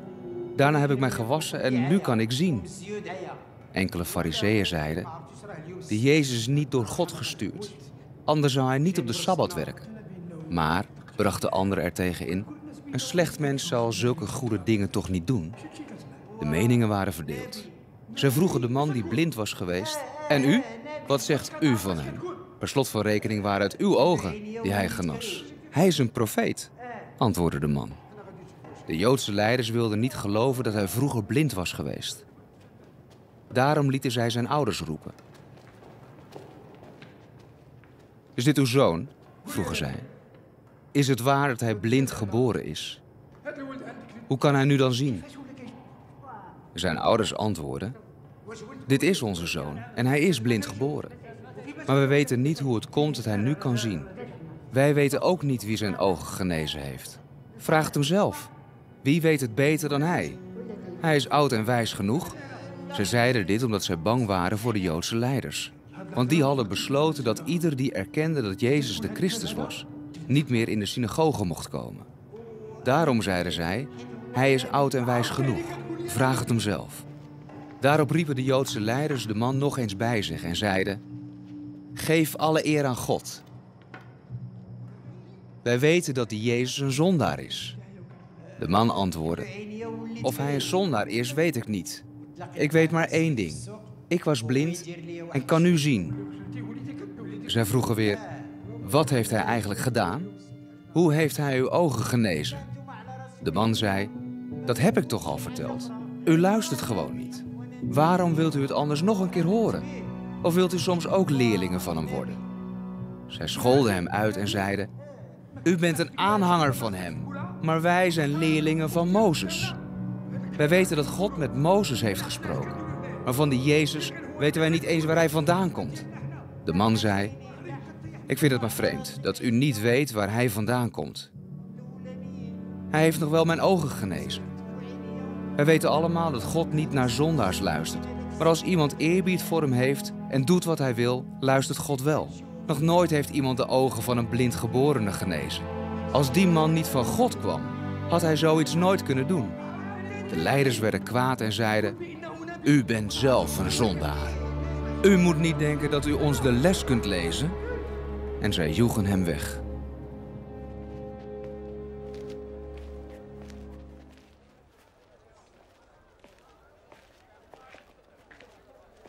Jezus hoorde wat er met de man gebeurd was. Hij zocht hem op en vroeg: Gelooft u in de mensenzoon? De man antwoordde: Ik weet niet wie dat is, heren. Anders zou ik in hem geloven. Ik ben het, antwoordde Jezus. Ja, heren, zei de man. Ik geloof. En hij knielde voor Jezus neer. Jezus zei: Ik ben tot een oordeel in deze wereld gekomen. De blinden zullen zien en de zienden zullen blind worden. Enkele fariseeën die erbij stonden vroegen: Zijn wij soms ook blind? Als u blind was, antwoordde Jezus, zou u geen schuld hebben. Maar nu u beweert te zien, blijft u schuldig. Onthoud goed wat ik u zeg. Wie de schaapskooi niet door de deur binnengaat, maar op een andere plaats binnendringt, is een dief of een rover. Want de schaapherder komt door de deur binnen. De wacht doet de deur voor hem open en de schapen spitsen hun oren als de stem van de herder klinkt. Hij roept zijn schapen bij hun naam en brengt ze naar buiten. Als alle schapen buiten zijn, loopt hij voor ze uit. Zij volgen hem omdat zij zijn stem kennen. Maar ze zullen zeker niet met een vreemde meegaan. Ze zullen voor een vreemde op de vlucht slaan, omdat ze zijn stem niet kennen. Zij begrepen niet wat Jezus met deze beeldspraak bedoelde. Daarom legde hij het hun uit. Wat ik u zeg, is de waarheid. Ik ben de deur van de schaapskooi. Al die zogenaamde profeten en verlossers zijn dieven en rovers. Maar de schapen hebben niet naar hen geluisterd. Ik ben de deur en wie door mij binnenkomt, zal gered worden. Hij zal in en uit kunnen gaan en voedsel vinden. De dief komt alleen om te stelen, te doden en te vernietigen. Ik ben gekomen om mijn schapen leven in overvloed te geven. Ik ben de goede herder. De goede herder geeft zijn leven voor zijn schapen. Een ingehuurde knecht laat de schapen in de steek zodra hij een wolf ziet aankomen. Want hij is de herder niet. De schapen zijn niet van hem. De wolf pakt er een en jaagt de andere uiteen. Zo'n herdersknecht denkt alleen aan zichzelf. Het interesseert hem niet wat er met de schapen gebeurt. Ik ben de goede herder. Ik ken mijn schapen en zij kennen mij. Zoals ik de Vader ken en hij mij kent. Ik geef mijn leven voor mijn schapen. Ik heb nog meer schapen die niet bij deze stal horen. Ik moet zorgen dat die er ook bij komen. Zij zullen mijn stem horen en dan zal het één kudde zijn met één herder. De Vader houdt van mij omdat ik mijn leven geef en het later zal terugnemen. Niemand berooft mij van het leven. Ik geef het uit eigen vrije wil. Want ik kan en mag mijn leven geven en het terugnemen. Ik doe dat omdat mijn vader dat heeft gezegd. Door deze woorden kregen de Joden weer verschil van mening. Velen van hen zeiden: Hij is bezeten, hij is gek. Waarom luisteren jullie nog naar hem? Anderen waren het daar niet mee eens en zeiden: Dit zijn geen woorden van iemand die in de macht van een boze geest is. Een boze geest kan niemand van blindheid genezen.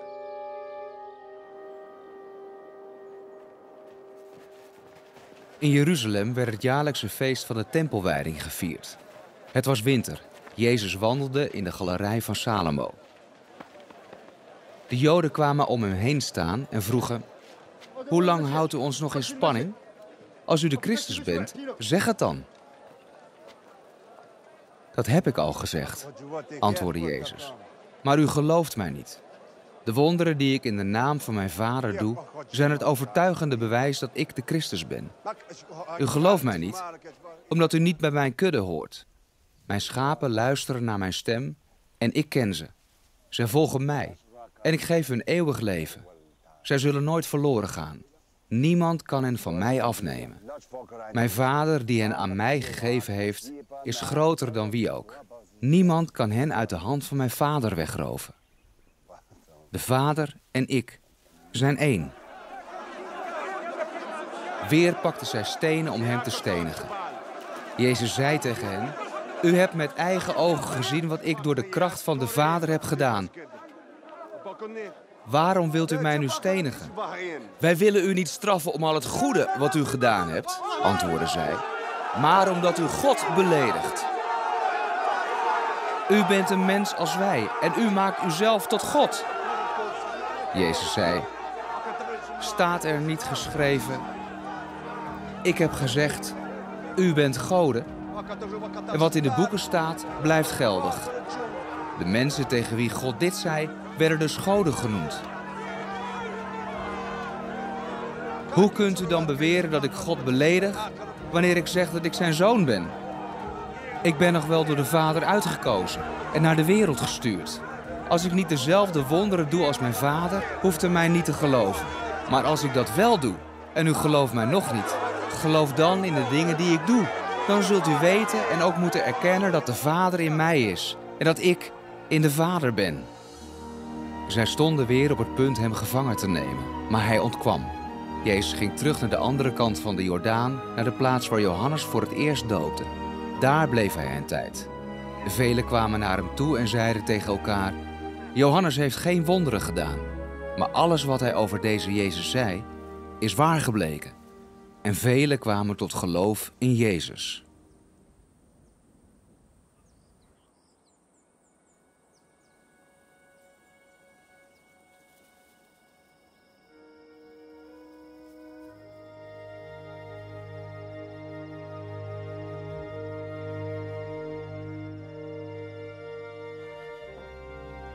Lazarus uit Betanië, de broer van Maria en Martha, was ziek. Maria was de vrouw die kostbare parfumolie over de voeten van Jezus uitgegoten en met haar haren afgedroogd had.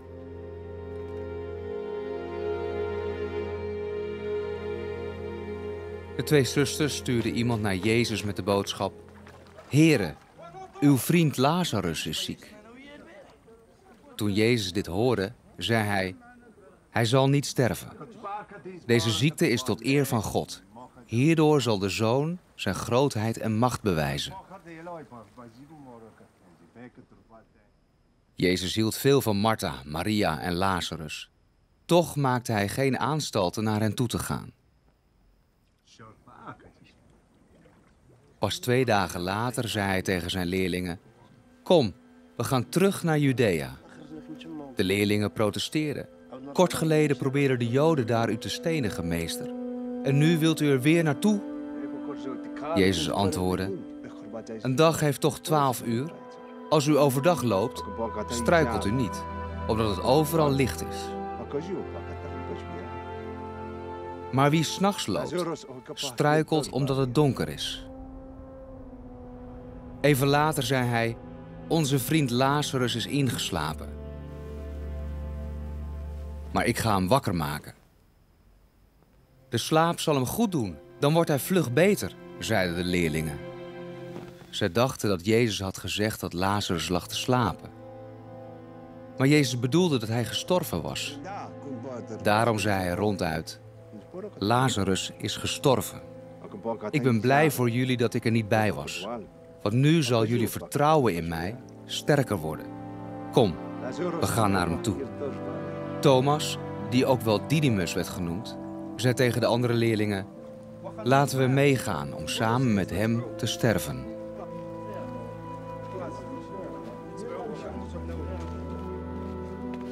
Toen Jezus in Betanië aankwam, bleek Lazarus al vier dagen daarvoor begraven te zijn. Betanië ligt op nog geen drie kilometer van Jeruzalem. Er waren verscheidene Joden gekomen om Martha en Maria te troosten over het verlies van hun broer. Zodra Martha hoorde dat Jezus er aankwam, ging ze hem tegemoet. Maar Maria bleef thuis. Here, zei Martha tegen Jezus, als u hier geweest was, zou mijn broer niet gestorven zijn. Maar ik ben er zeker van dat God u ook nu zal geven wat u hem vraagt. Je broer wordt weer levend, Martha, zei Jezus. Ja, dat weet ik, antwoordde zij. Hij zal weer levend worden als hij op de laatste dag uit de dood terugkomt. Ik geef de doden het leven terug, zei Jezus tegen haar. Ik ben zelf het leven. Wie in mij gelooft, zal leven, zelfs als hij gestorven is. Wie leeft en in mij gelooft, zal nooit sterven. Geloof je dat? Ja, heren, antwoordde zij. Ik geloof dat u de Christus bent, de Zoon van God, die in de wereld komen zou. Hierna ging zij weg om haar zuster te halen. Maria, zei zij zacht, de meester is er en hij wil je spreken. Maria stond onmiddellijk op en ging naar Jezus toe. Jezus was nog niet in het dorp aangekomen. Hij was op de plaats gebleven waar Martha hem had ontmoet. De Joden die bij Maria waren om haar te troosten, zagen hoe zij vlug opstond en naar buiten liep. Zij volgden haar omdat zij dachten dat zij naar het graf ging om er te huilen. Toen Maria bij Jezus kwam, viel zij voor hem op de knieën en zei: Heer, als u hier geweest was, zou mijn broer niet gestorven zijn. toen Jezus haar en de Joden die met haar waren meegekomen zag huilen. Greep het verdriet hem aan. Waar hebben jullie hem neergelegd? Vroeg hij ontroerd. Wij zullen het u wijzen, heren, antwoordde zij. Jezus huilde. De Joden zeiden tegen elkaar: Je kunt wel zien dat hij veel van Lazarus hield. Maar enkele van hen merkten op: Hij had er toch wel voor kunnen zorgen dat Lazarus niet gestorven was. Hij heeft toch ook iemand van blindheid genezen? Dit ergerde Jezus en hij ging naar het graf. Een grot met een zware steen voor de opening. Haal die steen weg, zei hij. Maar heren, protesteerde Martha, er hangt al een lijklucht. Hij ligt er al vier dagen. Ik heb toch gezegd dat je, als je op mij vertrouwt, de macht en grootheid van God zult zien, antwoordde Jezus. Ze haalden de steen weg. Jezus keek omhoog en zei: Vader, dank u wel dat u mijn gebed verhoort. Ik weet dat u mij altijd hoort, maar ik wil graag dat de mensen hier zullen geloven dat u mij gestuurd hebt. Daarom zeg ik dit. Nadat hij dit tegen zijn vader gezegd had, riep hij met krachtige stem: Lazarus, kom naar buiten.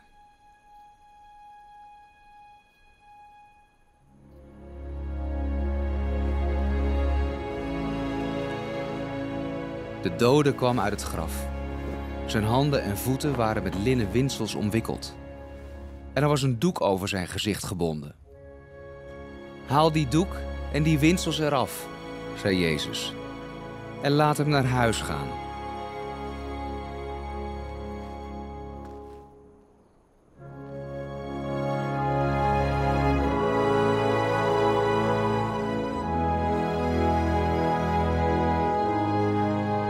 Zij dit hadden gezien, geloofden veel Joden dat Jezus de Christus was. Maar sommigen gingen naar de Fariseeën om te vertellen wat Jezus had gedaan. Daarop belegden de leidende priesters en de Fariseeën een spoedvergadering. Wat kunnen we doen? vroegen zij. Die man doet het ene wonder na het andere. Als wij hem zijn gang laten gaan, gaat iedereen in hem geloven. Als de Romeinen moeten ingrijpen, zal het met onze invloed gedaan zijn. Dan hebben wij niets meer over de heilige stad en dit volk te zeggen. Caiaphas, die dat jaar hoge priester was, zei: U hebt geen flauw idee wat hier aan de hand is. Begrijpt u niet dat het in uw voordeel is als één mens sterft voor het hele volk? Anders gaat het hele volk verloren. Dat zei hij niet uit zichzelf. Als hoge priester van dat jaar werd dit hem door God ingegeven. Hij voorspelde daarmee dat Jezus voor het Joodse volk zou sterven. En niet alleen voor dat volk, maar ook voor de kinderen van God die over de wereld verspreid zijn. Jezus zou hen allemaal bijeenbrengen. Vanaf die dag zochten de Joodse leiders naar een gelegenheid om hem te doden. Daarom bewoog Jezus zich niet langer vrij onder de mensen, maar ging naar Ephraim, een rustig plaatsje aan de rand van de woestijn. Daar bleef hij enige tijd met zijn leerlingen.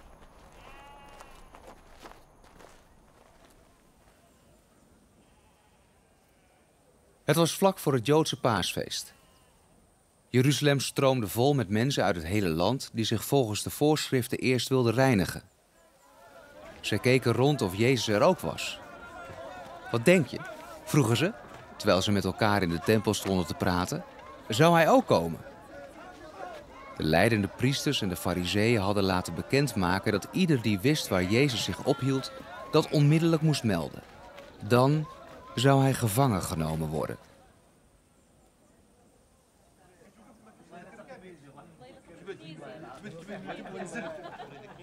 Zes dagen voor Pesach, het Joodse paasfeest, ging Jezus naar Betanië. Daar woonde Lazarus, die hij uit de dood weer tot leven had gebracht. De mensen uit Betanië hielden ter ere van hem een feestmaaltijd. Martha bediende daarbij. Jezus zat met Lazarus en de anderen aan tafel. Maria nam dure nardusolie, goot die over de voeten van Jezus en droogde deze daarna af met haar lange haar. De fijne geur van de nardus vulde het hele huis.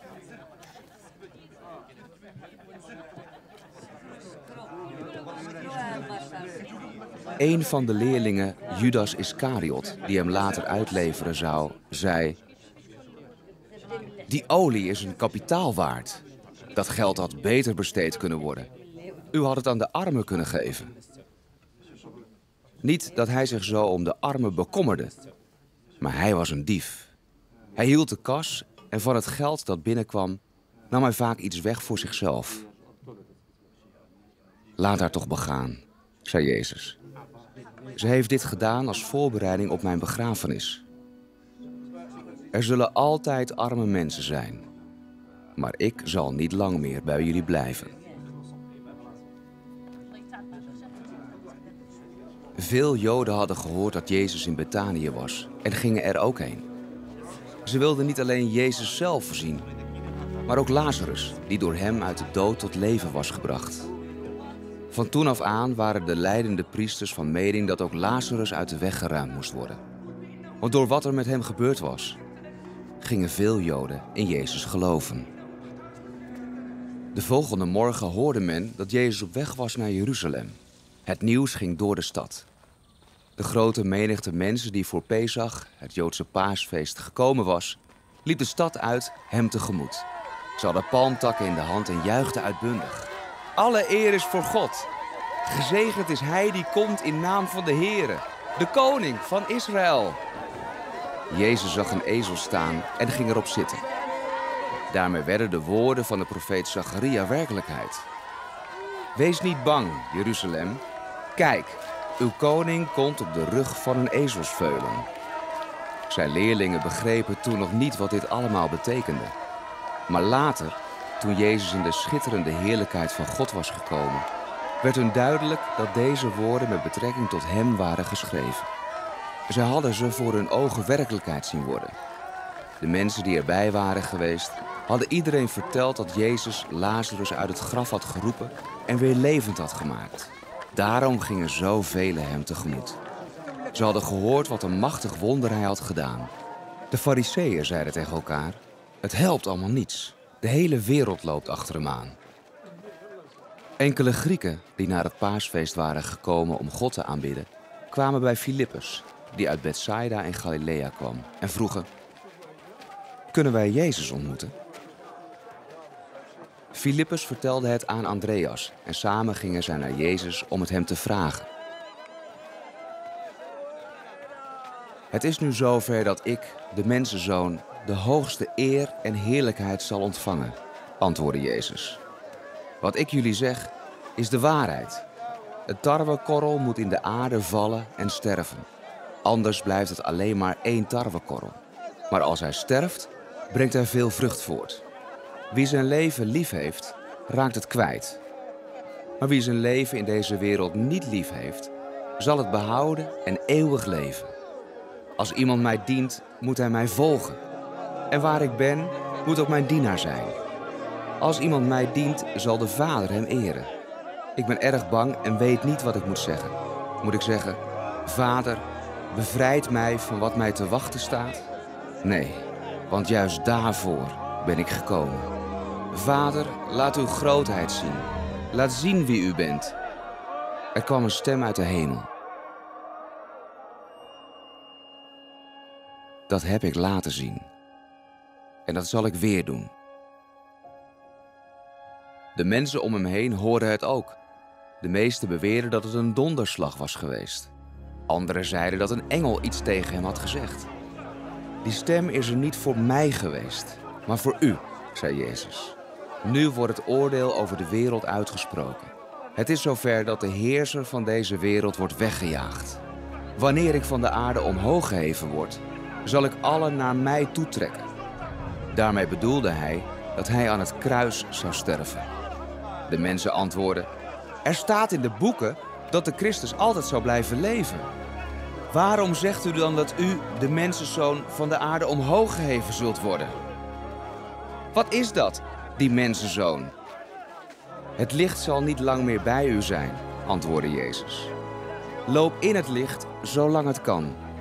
Want als de duisternis u overvalt, ziet u de weg niet meer. Vertrouw op het licht, zolang u het licht hebt. Dan zult u kinderen van het licht zijn. Daarna trok hij zich terug en verborg zich voor hen. Ondanks de vele wonderen die hij voor hun ogen had gedaan, geloofden de meeste mensen niet dat hij de Christus was. Op hen waren de woorden van de profeet Jesaja van toepassing. Here, wie heeft geloofd wat wij vertelden? Aan wie heeft u uw macht geopenbaard? Jesaja heeft geschreven dat zij niet konden geloven. God heeft hun ogen blind en hun hart ongevoelig gemaakt. Hij wilde niet dat zij inzicht en begrip zouden krijgen. Anders zouden zij naar hem terugkeren en hij hen genezen. Jesaja schreef hier over Jezus, want hij had zijn schitterende heerlijkheid gezien. Toch waren er heel wat vooraanstaande Joden die wel geloofden dat Jezus de Christus was. Maar zij durfden er niet vooruit te komen, omdat ze bang waren dat de fariseeën hen uit de synagoge zouden verjagen. Zij vonden het belangrijker wat de mensen van hen zeiden, dan wat God van hen dacht. Wie op mij vertrouwt, riep Jezus uit, vertrouwt eigenlijk op Hem die mij gestuurd heeft. En wie mij ziet, ziet Hem die mij gestuurd heeft. Ik ben als licht naar de wereld gekomen om ieder die op mij vertrouwt uit het donker te halen. Als iemand hoort wat ik zeg en zich er niets van aantrekt, zal ik niet over hem oordelen. Ik ben niet gekomen om te oordelen over de wereld, maar om haar te redden. Over wie mij afwijst en niet luistert naar wat ik zeg, zal op de laatste dag een oordeel gegeven worden. En wel door het woord dat ik gesproken heb. Want ik heb niet uit mijzelf gesproken. Maar ik heb gezegd wat mij is opgedragen door mijn vader, die mij heeft gestuurd. Hij heeft mij opgedragen de mensen eeuwig leven te geven. Daarom zeg ik alleen wat mijn vader mij verteld heeft.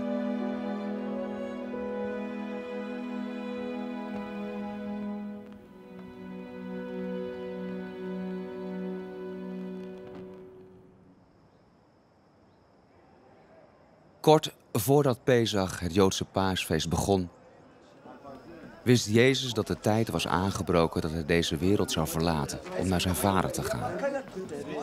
Juist toen liet hij zien hoe groot zijn liefde was voor hen die in deze wereld bij hem hoorden. En dat die liefde tot het uiterste zou gaan. Terwijl zij zaten te eten, wist Jezus dat de duivel Judas Iscariot had overgehaald hem te verraden en uit te leveren. Hij was er zich ten volle van bewust dat de Vader hem de macht over alle dingen had gegeven. En dat hij bij God vandaan kwam en weer naar God zou teruggaan. Hij stond van tafel op, legde zijn mantel af en deed een linnen doek om zijn middel. Daarna goot hij water in een kom en begon de voeten van zijn leerlingen te wassen. Hij droogde ze af met het doek die hij om zijn middel had. Heren, protesteerde Simon Petrus, u gaat mijn voeten toch niet wassen? Jezus antwoordde, nu begrijp je nog niet waarom ik dit doe, maar later wel. Geen sprake van, ik wil niet dat u mijn voeten wast, zei Petrus. Als ik ze niet mag wassen, Petrus, hoor je niet bij mij, antwoordde Jezus. Dan maar helemaal, heren. Mijn voeten, mijn handen en mijn hoofd, was Petrus antwoord. Jezus zei, wie zich gebaat heeft, hoeft zich niet nog eens te wassen. Hij is helemaal schoon. Jullie zijn dus schoon en zuiver, maar niet allemaal. Hij zei dat omdat hij wist wie hem zou uitleveren.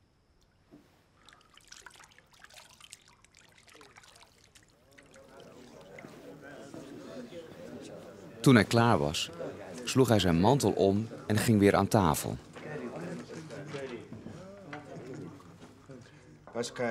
Begrijpen jullie wat ik voor jullie heb gedaan? vroeg hij. Jullie noemen mij meester en heren. En dat is juist.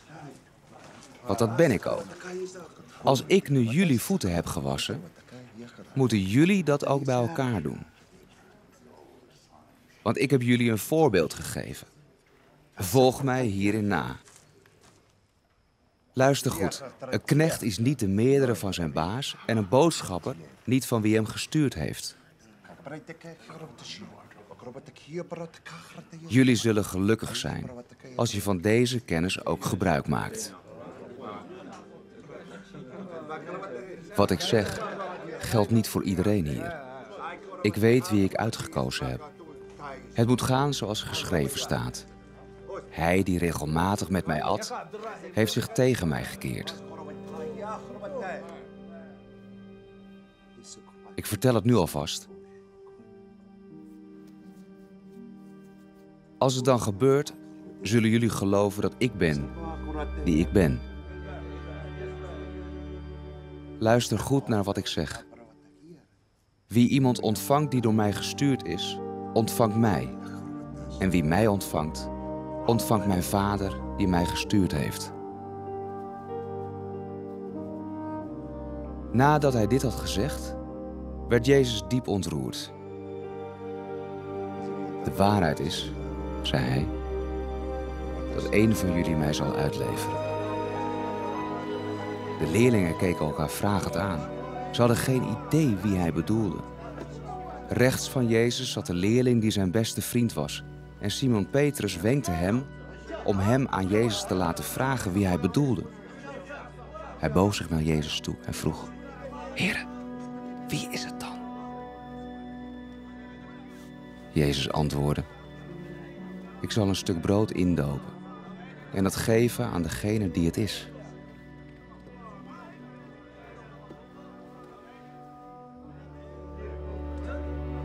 Hij nam een stuk brood, doopte het in de saus en gaf het aan Judas, de zoon van Simon Iscariot. Op dat moment kwam de duivel in Judas. Doe maar vlug wat je van plan bent, zei Jezus tegen hem. Niemand aan tafel begreep wat hij daarmee bedoelde. Omdat Judas het geld beheerde, dachten sommigen dat hij iets voor het feest moest kopen of iets aan de armen moest gaan geven. Nadat hij het brood van Jezus had aangenomen, ging Judas vlug naar buiten, de nacht in. Toen Judas de deur uit was, zei Jezus: Nu blijkt hoe groot en machtig ik, de mensenzoon, ben. En daardoor blijkt ook hoe groot en machtig God is. Door wat er gaat gebeuren, zullen God en ik in elkaar herkenbaar zijn. En onze grootheid en macht zullen zichtbaar worden. Vrienden, ik zal niet lang meer bij jullie zijn. Jullie zullen mij zoeken. Maar zoals ik al tegen de Joden zei, waar ik heen ga, kunnen jullie niet komen. Dit is een nieuwe opdracht die ik jullie geef. Heb elkaar lief. Heb voor elkaar net zoveel liefde als ik voor jullie heb.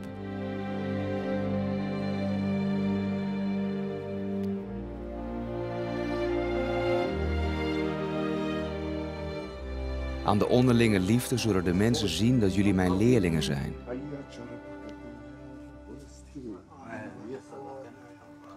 Simon Petrus vroeg: Heren, waar gaat u dan heen? Daarheen kun je mij nu niet volgen, antwoordde Jezus.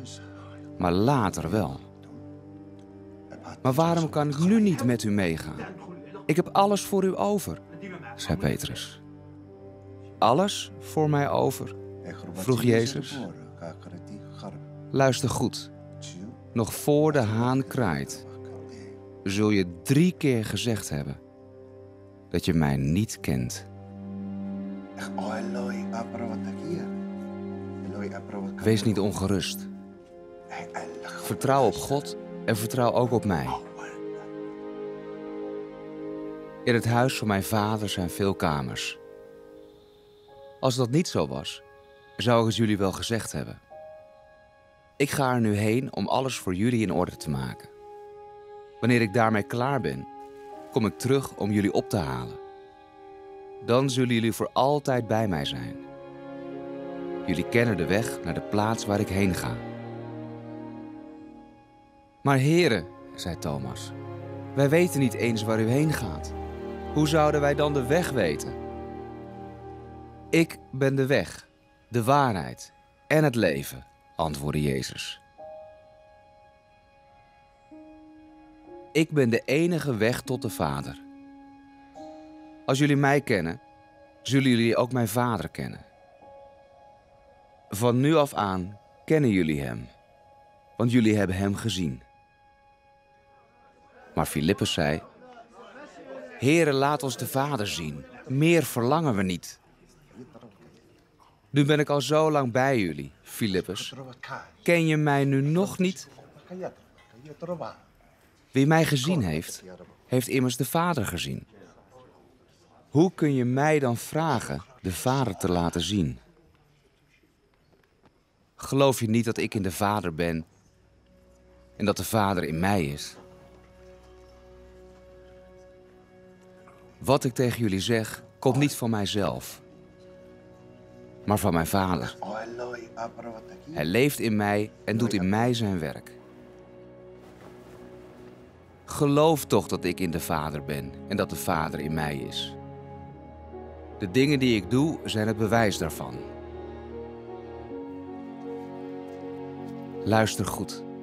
Wie op mij vertrouwt, zal dezelfde dingen doen als ik. Zelfs nog grotere. Want ik ga naar de Vader. Wat u in mijn naam biddend vraagt, zal ik doen. Van daardoor zal blijken hoe groot en machtig de Vader in mij is. Als jullie mij iets vragen in mijn naam, zal ik het doen. Wie van mij houdt, zal altijd volgens mijn geboden leven. Ik zal de Vader bidden of hij een helper wil sturen die altijd bij jullie zal blijven. Dat is de Heilige Geest, die de wereld niet kan ontvangen, omdat ze hem niet kan zien en dus ook niet kent. Jullie kennen hem wel, omdat hij bij jullie blijft en in jullie zal wonen. Ik zal jullie niet als ouderloze kinderen achterlaten. Ik kom bij jullie terug. Nog even en dan kan de wereld mij niet meer zien. Maar jullie zullen mij wel kunnen zien, omdat ik dan weer leef. Daardoor zullen jullie het echte leven ontvangen. Op die dag zullen jullie begrijpen dat ik in mijn Vader ben, dat jullie in mij zijn en ik in jullie. Wie mijn geboden kent en zich eraan houdt, houdt van mij. Wie van mij houdt, zal ervaren dat mijn Vader ook van hem houdt. Ik zal van hem houden en hem duidelijk laten zien wie ik ben. Judas, niet Judas Iscariot, maar een andere leerling, vroeg: Here, waarom wilt u alleen aan ons laten zien wie u bent en niet aan de hele wereld? Jezus antwoordde hem: Als iemand van mij houdt, zal hij doen wat ik heb gezegd. Mijn vader zal van hem houden en samen zullen wij bij hem komen wonen. Maar wie niet van mij houdt, trekt zich niets van mijn woorden aan.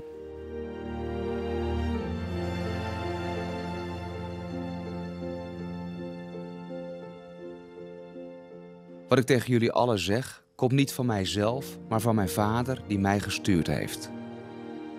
Ik vertel dit allemaal omdat ik nu nog hier ben, maar de Vader zal de Helper sturen. Dat is de Heilige Geest, die jullie in mijn naam alles zal leren en jullie steeds weer zal herinneren aan wat ik gezegd heb. Mijn vrede laat ik jullie na. Die vrede is heel anders dan die van de wereld. Wees dus nooit meer bang of ongerust. Jullie hebben mij horen zeggen dat ik wegga en weer terugkom. Als jullie werkelijk van mij hielden, zouden jullie blij zijn dat ik naar de Vader ga.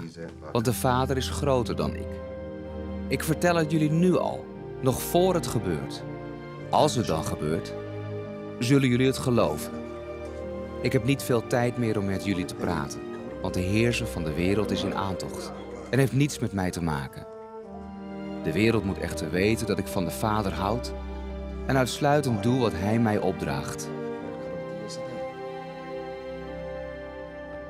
Kom, laten we hier vandaan gaan.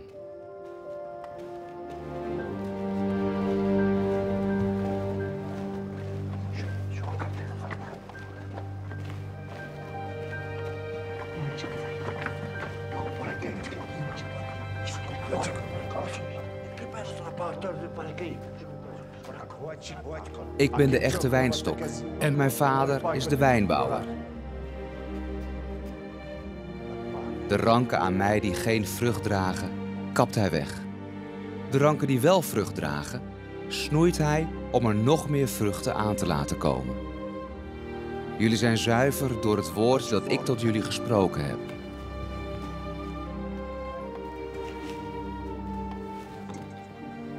Blijf dicht bij mij, dan blijf ik in jullie. Net zoals een rank alleen maar vrucht kan dragen als hij aan de wijnstok zit, kunnen ook jullie alleen maar vruchtbaar leven als jullie in mij blijven.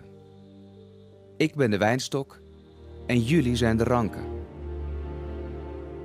Als jullie in mij blijven en ik blijf in jullie, brengen jullie veel vrucht voort. Want zonder mij kunnen jullie niets doen. Wie niet in mij blijft, wordt weggegooid als een waardeloze rank en zal verdorren. Samen met andere dorre ranken wordt hij in het vuur gegooid en verbrand. Maar als jullie één met mij blijven en mijn woorden niet vergeten, kunnen jullie vragen wat jullie willen en het zal gebeuren. Door veel vrucht te dragen, bewijzen jullie mijn leerlingen te zijn. Daardoor wordt duidelijk hoe glorierijk mijn Vader is.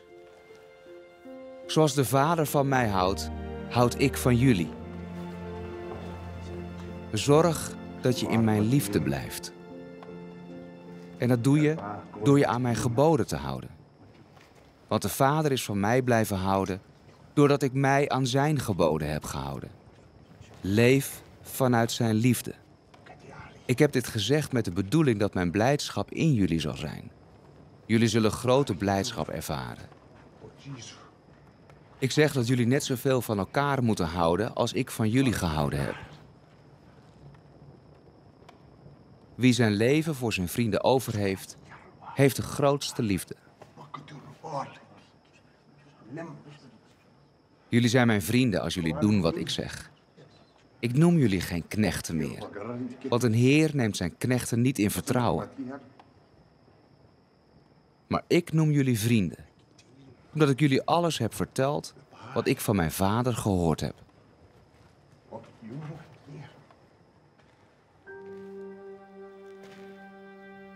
Jullie hebben niet mij uitgekozen, maar ik heb jullie uitgekozen. Ik heb jullie aangewezen om erop uit te gaan en blijvende vrucht voor te brengen, zodat mijn Vader jullie alles zal geven wat jullie hem vragen in mijn naam.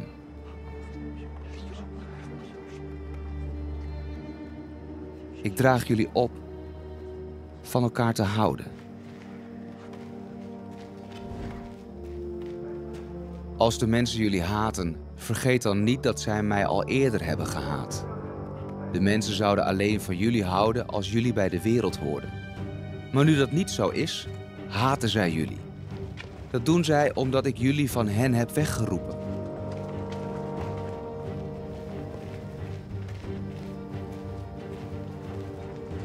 Weten jullie nog dat ik zei dat een knecht niet de meerdere van zijn baas is? Als zij mij hebben vervolgd, zullen ze jullie ook vervolgen. Als zij zich aan mijn woorden hebben gehouden, zullen ze zich ook aan jullie woorden houden. De mensen zullen jullie vervolgen omdat jullie bij mij horen. Zij kennen God niet, die mij gestuurd heeft. Als ik niet gekomen was en tot hen gesproken had, zouden ze niet schuldig zijn. Maar nu hebben zij geen verontschuldiging voor de zonde die zij doen. Wie mij haat, haat ook mijn vader.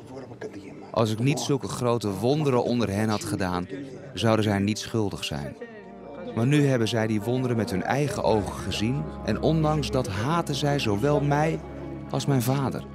Daardoor wordt werkelijkheid wat er in hun wet staat. Zij hebben mij zonder reden gehaat. Als ik bij de Vader ben, zal ik mijn helper sturen. Dat is de Heilige Geest, de bron van alle waarheid. Hij komt van de Vader vandaan en zal jullie alles over mij vertellen. Omdat jullie vanaf het begin bij mij geweest zijn, moeten jullie ook van mij getuigen. Ik heb dit verteld omdat ik wil voorkomen dat jullie je geloof verliezen. Want de Joden zullen jullie niet alleen uit de synagoge gooien, maar zelfs doden. En dan denken zij ook nog God daarmee een grote dienst te bewijzen. Ze zullen dat doen omdat zij de Vader en mij niet kennen. Ik zeg dit hierom. Als een en ander gebeurt, zullen jullie je mijn woorden herinneren. Tot nu toe heb ik hier niets over gezegd, omdat ik nog bij jullie was. Maar nu ga ik terug naar Hem die mij gestuurd heeft. En niemand vraagt waar ik naartoe ga. Mijn woorden maken jullie verdrietig. Maar wat ik zeg is de waarheid. Het is beter voor jullie dat ik wegga. Anders kan mijn helper niet bij jullie komen. Als ik wegga, stuur ik hem naar jullie toe. En wanneer hij komt, zal hij de mensen in de wereld overtuigen van zonde, rechtvaardigheid en oordeel. Van zonde omdat ze weigeren in mij te geloven. Van rechtvaardigheid omdat ik naar de Vader ga en jullie mij niet meer zullen zien.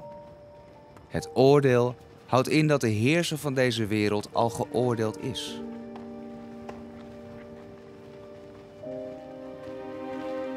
Ik zou jullie nog veel meer moeten zeggen, maar jullie kunnen het nog niet verdragen. Maar als de Heilige Geest komt, zal Hij jullie de weg wijzen naar de volledige waarheid. Wat Hij jullie zal zeggen, heeft Hij niet uit zichzelf, maar Hij geeft door wat Hij hoort en Hij zal bekendmaken wat komen gaat. Door jullie te vertellen wat Hij van mij hoort, zal Hij mij verheerlijken. Alles wat van de Vader is, is ook van mij. Daarom zeg ik dat Hij alles wat Hij van mij hoort aan jullie zal vertellen. Nog even. En jullie zullen mij niet meer zien. En niet lang daarna zullen jullie mij weer terugzien. Enkele leerlingen zeiden tegen elkaar: Wat zou hij bedoelen met nog even? En ik ga naar de Vader. Wij begrijpen er niets van.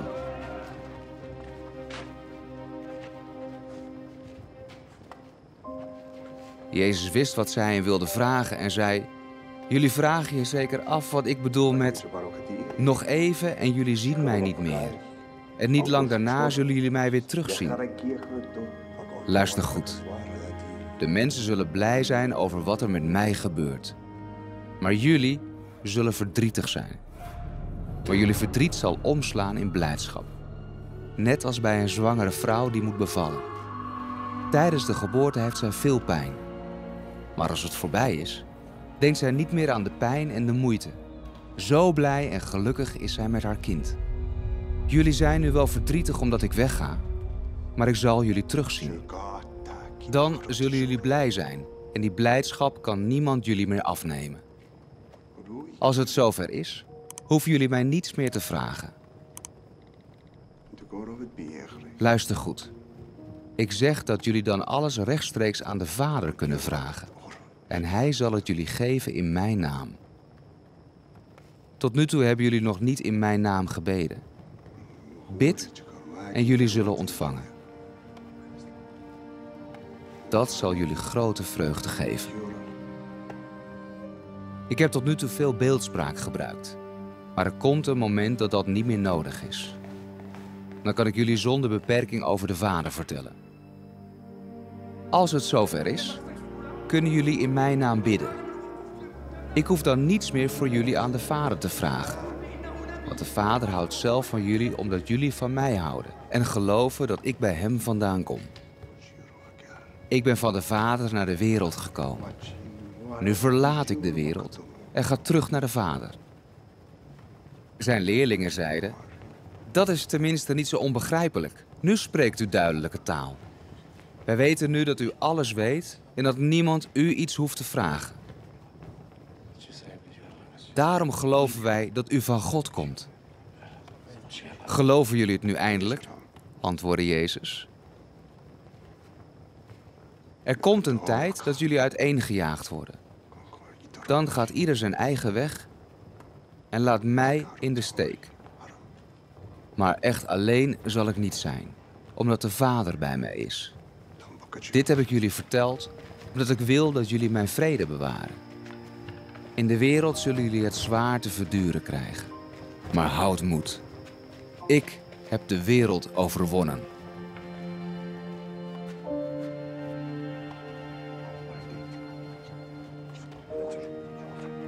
Nadat Jezus dit gezegd had, keek hij omhoog naar de hemel en zei: Vader, het is zover.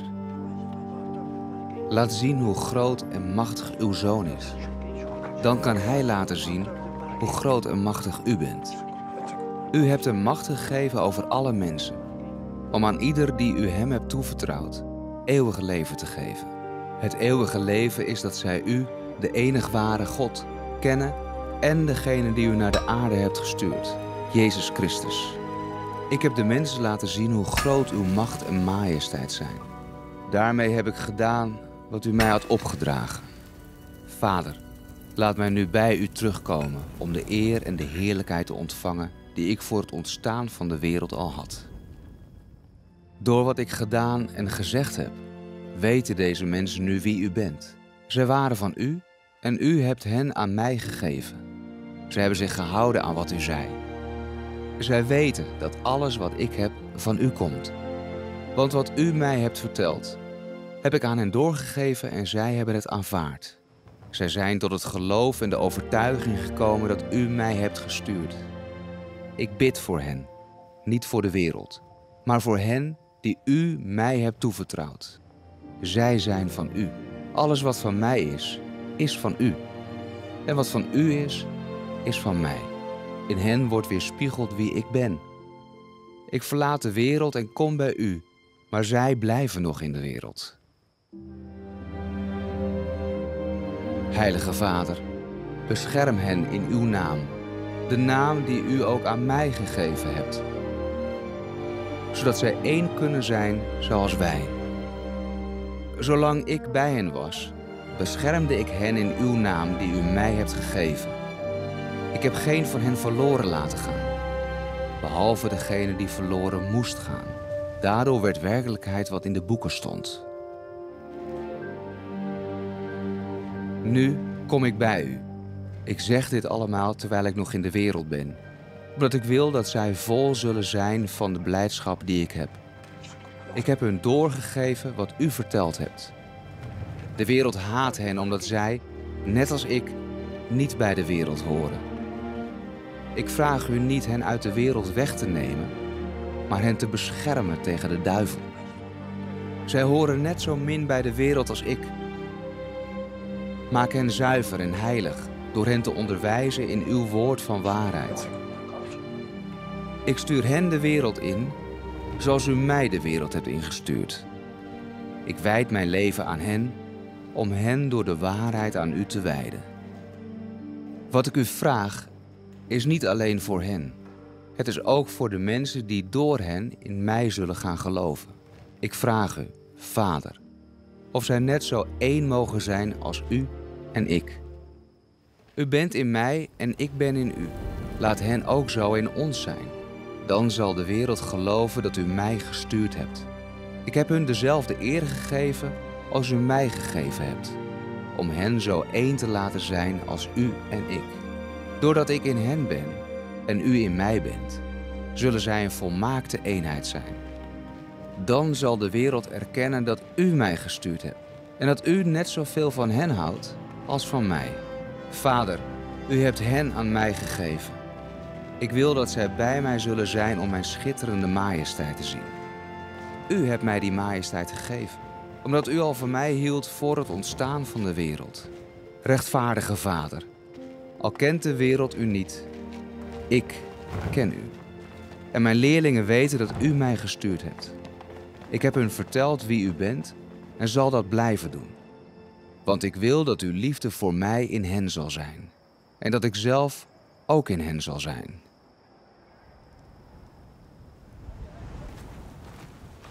Na deze woorden ging Jezus met zijn leerlingen een tuin in aan de overkant van het Kidrondal.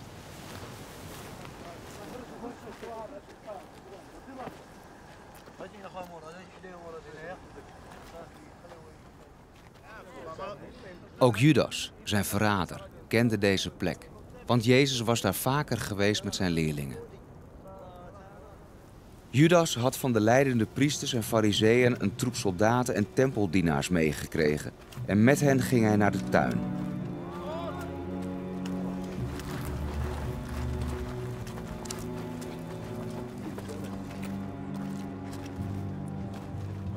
Zij hadden fakkels, lantaarns en wapens bij zich. Jezus wist wat hem zou overkomen. Hij liep hun tegemoet en vroeg: Wie zoekt u? Jezus van Nazareth, antwoordde zij. Ik ben het, zei hij, terwijl Judas, die hem uitleverde, erbij stond. Bij het horen van de woorden Ik ben het, deinsden ze terug en vielen op de grond. Wie zoekt u? vroeg Jezus nog eens. Jezus van Nazareth, was het antwoord. Ik heb toch gezegd, ik ben het. Als het u om mij te doen is, laat die anderen dan gaan. Daarmee kwam uit wat hij eerder eens gezegd had. Van hen die u mij gegeven hebt, heb ik niemand verloren laten gaan.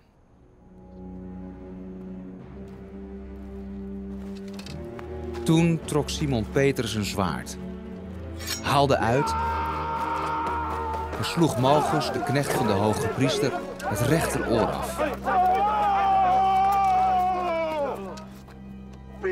Jezus zei, doe dat zwaard weg. Zou ik de beproeving die de Vader mij stuurt uit de weg gaan?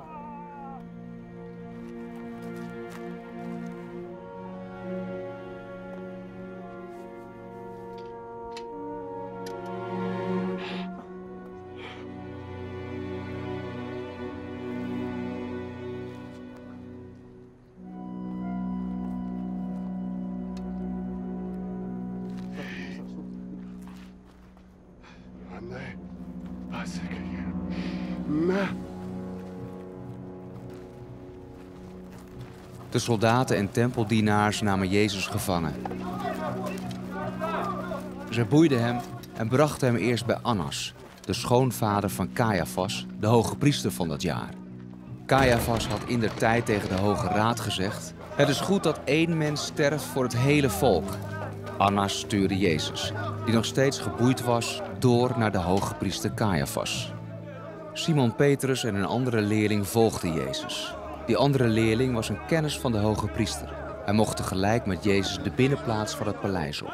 Maar Petrus moest buiten blijven. De andere leerling kwam terug, sprak even met de portierster en nam Petrus toen mee naar binnen. De portierster zei: U bent zeker een leerling van die Jezus. Nee hoor, zei Petrus. Omdat het koud was, hadden de knechten en bewakers een vuur gemaakt waarbij ze zich warmden. Petrus ging er ook bij staan. De hoge priester ondervroeg Jezus over zijn leerlingen en ideeën.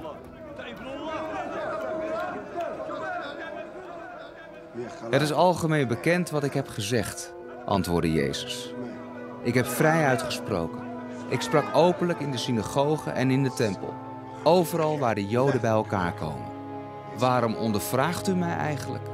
Er zijn genoeg mensen die mij hebben gehoord. Vraag het aan hen.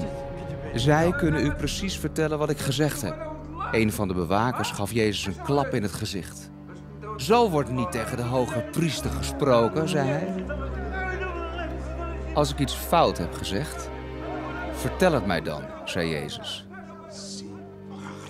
Maar als ik gelijk heb, waarom slaat u mij dan?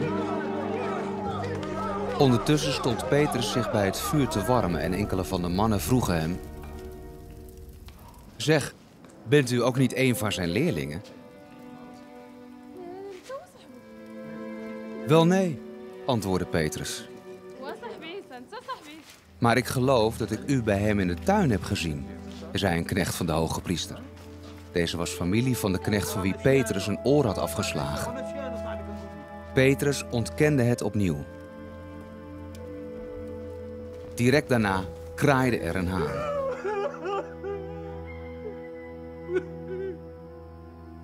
S'morgens in alle vroegte brachten zij Jezus van het paleis van Caiaphas naar het paleis van de Romeinse gouverneur.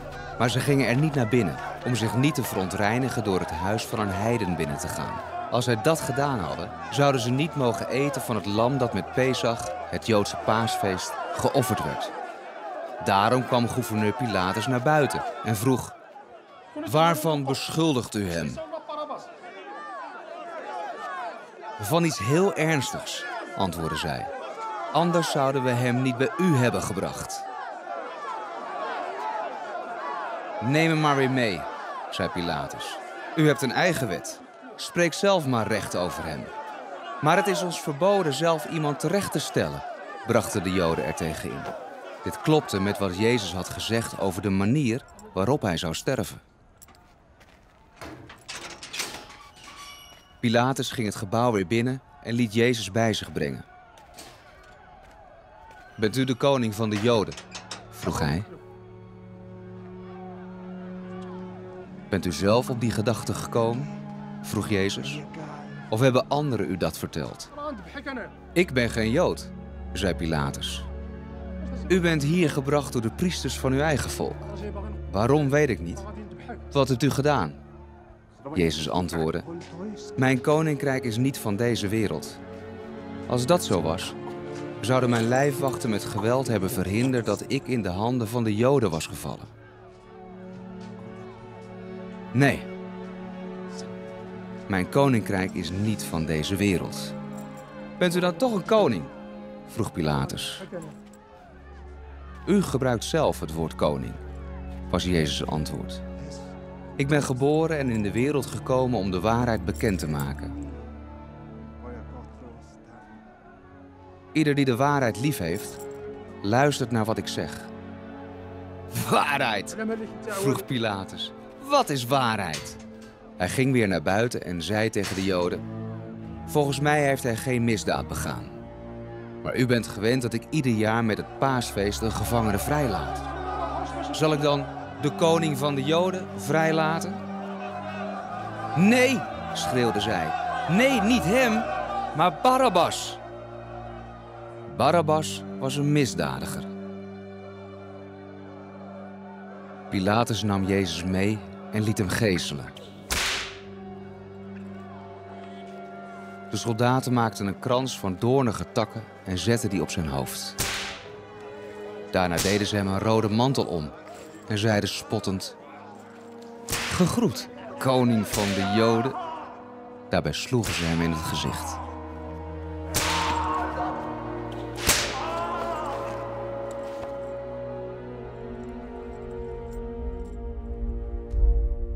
Pilatus ging weer naar de Joden toe en zei tegen hen: Hier is hij weer.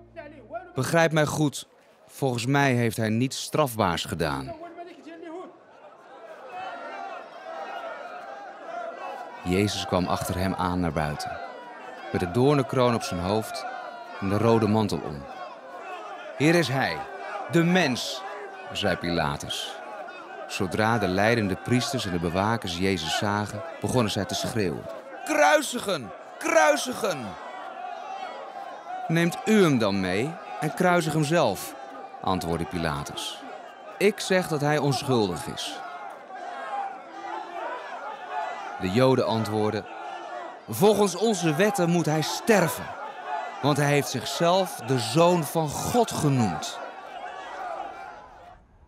Toen Pilatus dat hoorde, werd hij echt bang.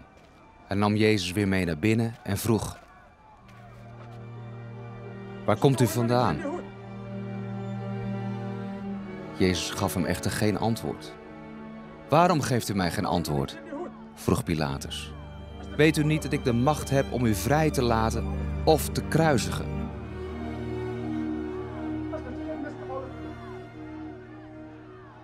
U zou geen macht over mij hebben als God u die niet gegeven had, antwoordde Jezus.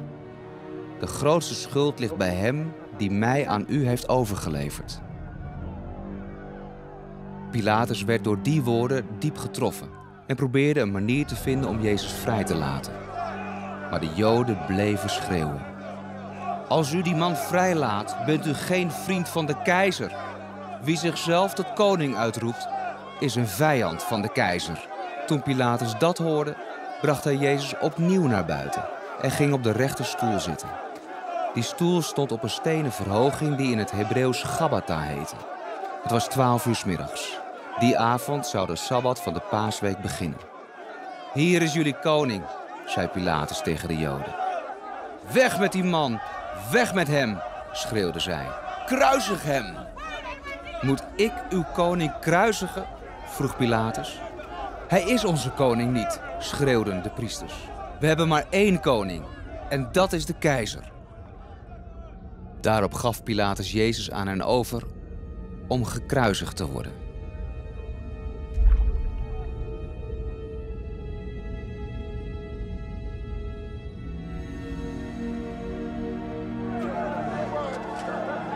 Ze namen Jezus mee en brachten hem naar een plaats buiten de stad.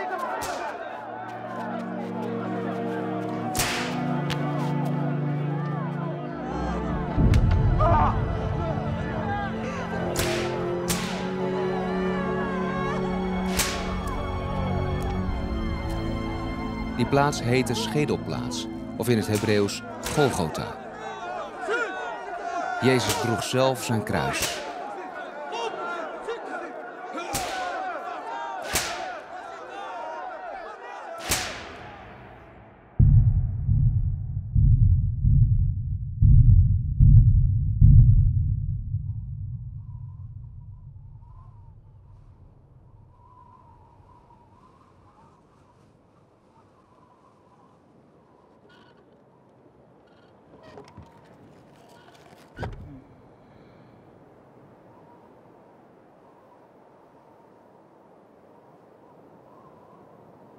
Daar aangekomen sloegen zij hem aan het kruis.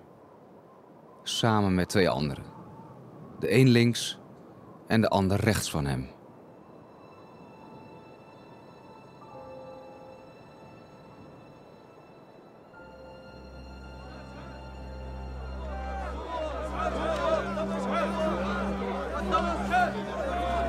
Er werd een bord aan het kruis bevestigd, waarop Pilatus in het Hebreeuws, Latijn en Grieks had laten schrijven: Jezus van Nazareth, de koning van de Joden. En vele Joden lazen dat, want de plaats waar Jezus gekruisigd werd lag niet ver buiten de stad.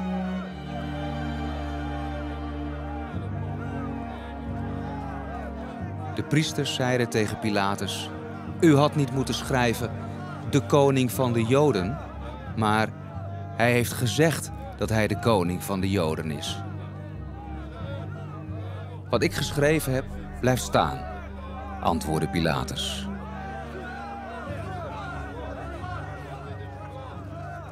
De vier soldaten die Jezus aan het kruis hadden geslagen, verdeelden zijn kleren onder elkaar.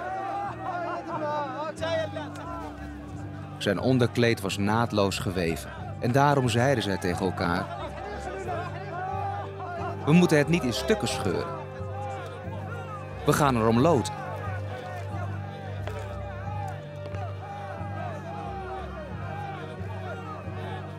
Dat klopte met wat in de boeken staat geschreven.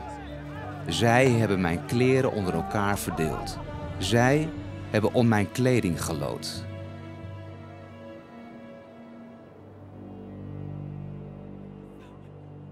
Jezus' moeder stond met haar zuster, Maria van Klopas en Maria van Magdala bij het kruis. Jezus zag zijn moeder staan, bij de leerling die zijn beste vriend was.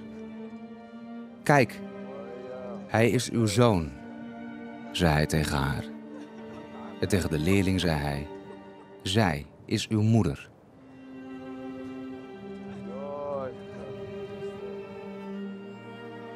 Van toen af aan nam die leerling haar bij zich in huis.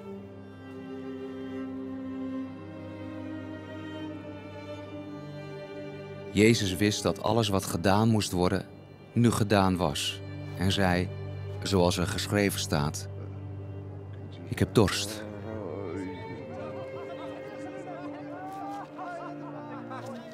Een van de soldaten doopte een spons in een kan met zure wijn. Hij stak die op een stok en hield hem bij Jezus' mond.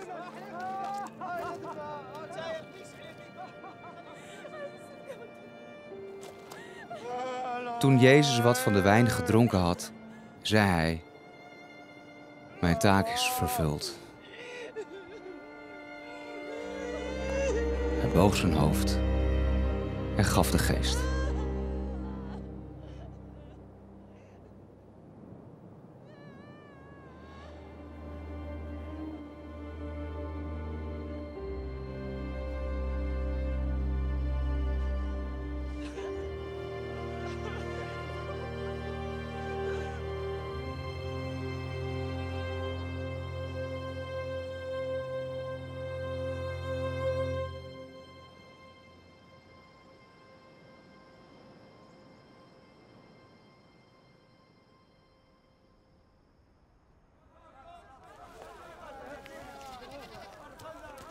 Die avond zou de Sabbat beginnen. Daarom wilden de Joden niet dat de lichamen nog langer aan de kruisen zouden blijven hangen. Ze vroegen Pilatus hun benen te laten breken. Dan zouden zij eerder sterven en konden de lichamen voor de Sabbat van het kruis worden afgenomen, want dat was erg belangrijk. Daarop braken de soldaten eerst de benen van de twee mannen die gelijk met Jezus waren gekruisigd. Maar toen zij bij Jezus kwamen, zagen zij dat hij al gestorven was. Daarom braken zij zijn benen niet. Wel stak een van de soldaten zijn speer in Jezus' zij. Meteen kwam er bloed en water uit. Johannes heeft dit met eigen ogen gezien en zijn verklaring is betrouwbaar. Hij weet dat hij de waarheid spreekt en wil dat ook u gelooft. Wat er met Jezus gebeurde, klopt met wat er geschreven staat.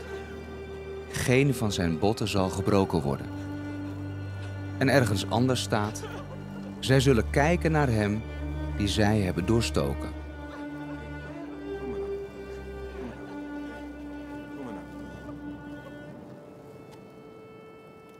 Na deze gebeurtenissen vroeg Jozef van Arimathea aan Pilatus of hij Jezus' lichaam mocht wegnemen. Pilatus vond het goed. Deze Jozef was een leerling van Jezus. Maar hij had er niet voor durven uitkomen omdat hij bang was voor de Joden. Daarop haalde hij Jezus' lichaam van het kruis af. Nicodemus, die op een nacht met Jezus was komen praten, ging met hem mee. Hij had ruim 30 kilo balsemkruiden bij zich, een mengsel van mirre en aloë. De twee mannen wikkelden Jezus' lichaam met de geurige kruiden in linnen doeken. Want dat is bij de Joden de gewoonte als ze iemand gaan begraven. Niet ver van de plaats waar Jezus gekruisigd was, lag een tuin. In die tuin was een nieuw graf waarin nog nooit een dode had gelegen. Omdat de zon bijna onderging en dan de Sabbat zou beginnen, legden zij Jezus in dat graf.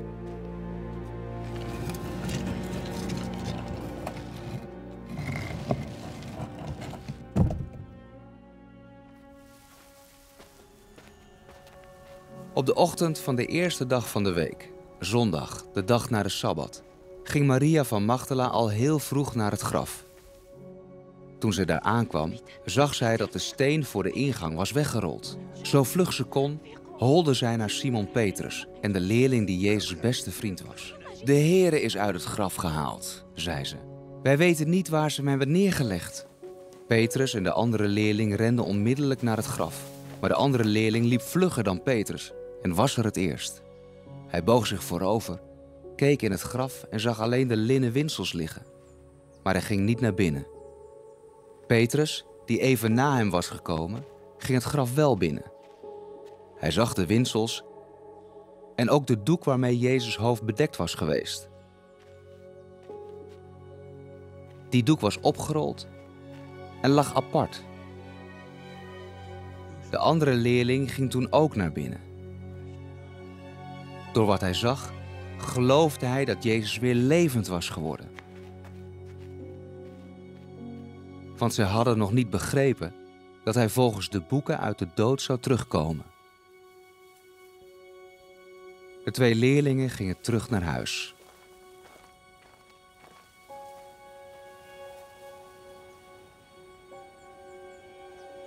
Maria van Magdala bleef echter bij het graf achter. Huilend boog zij zich voorover en keek in het graf. Op de plaats waar Jezus had gelegen, zag zij twee engelen in witte kleren zitten. Eén aan het hoofdeinde en één aan het voeteneinde van de plaats waar hij gelegen had. Waarom huilt u? vroegen zij haar. Ze hebben mijn Heer weggenomen, antwoordde Maria, en ik weet niet waar hij is. Zij keek achterom. Daar stond Jezus, maar zij herkende hem niet. Zij dacht dat het de tuinman was. Waarom huilt u? vroeg Jezus. Wie zoekt u? Och meneer, als u hem ergens anders hebt neergelegd, zeg het alstublieft. Dan neem ik hem mee, zei zij. Maria, zei Jezus. Zij draaide zich om en zei in het Aramees tegen hem: Rabuni. Rabuni betekent meester.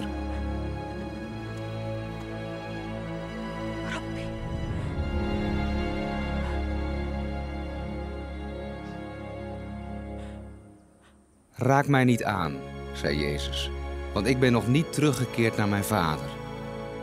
Ga naar mijn broeders en vertel hun dat ik terugga naar mijn vader, die ook jullie vader is. Naar mijn God, die ook jullie God is.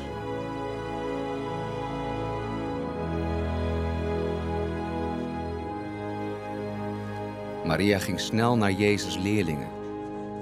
Ik heb de Heere gezien, zei ze en vertelde hun wat hij tegen haar gezegd had.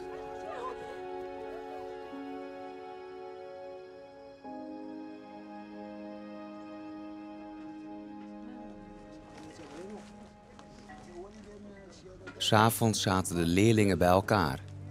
Ze hadden de deur op slot gedaan omdat ze bang waren voor de Joden. Ineens was Jezus bij hen. Ik wens jullie vrede, zei hij.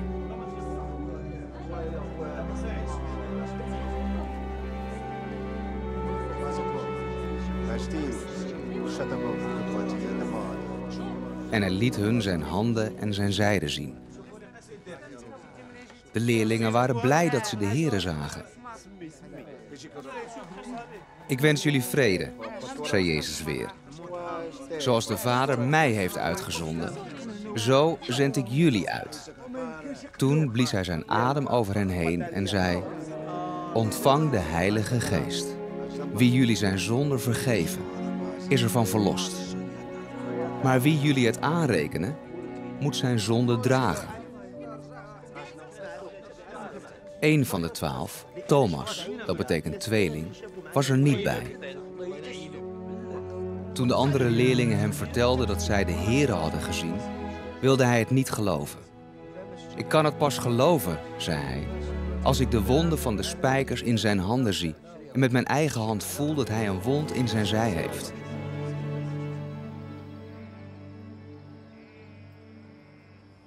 Acht dagen later waren de leerlingen weer bij elkaar.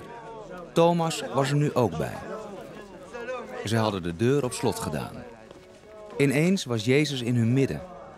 Vrede, zei hij.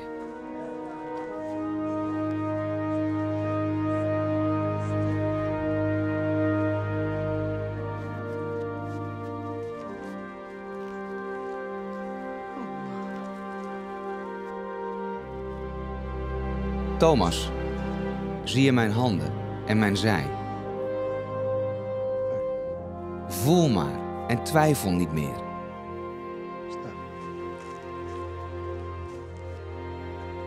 Geloof dat ik leef. Mijn Heere en mijn God. zei Thomas. Geloof je het nu, omdat je mij ziet? zei Jezus. Gelukkig zijn de mensen die in mij geloven, zonder mij gezien te hebben. Veel van de wonderen die Jezus voor de ogen van zijn leerlingen heeft gedaan, staan niet in dit boek vermeld. Ik heb hier enkele opgeschreven, opdat u zult geloven dat Jezus de Christus is, de Zoon van God. Als u in Hem gelooft, leeft u in Zijn naam.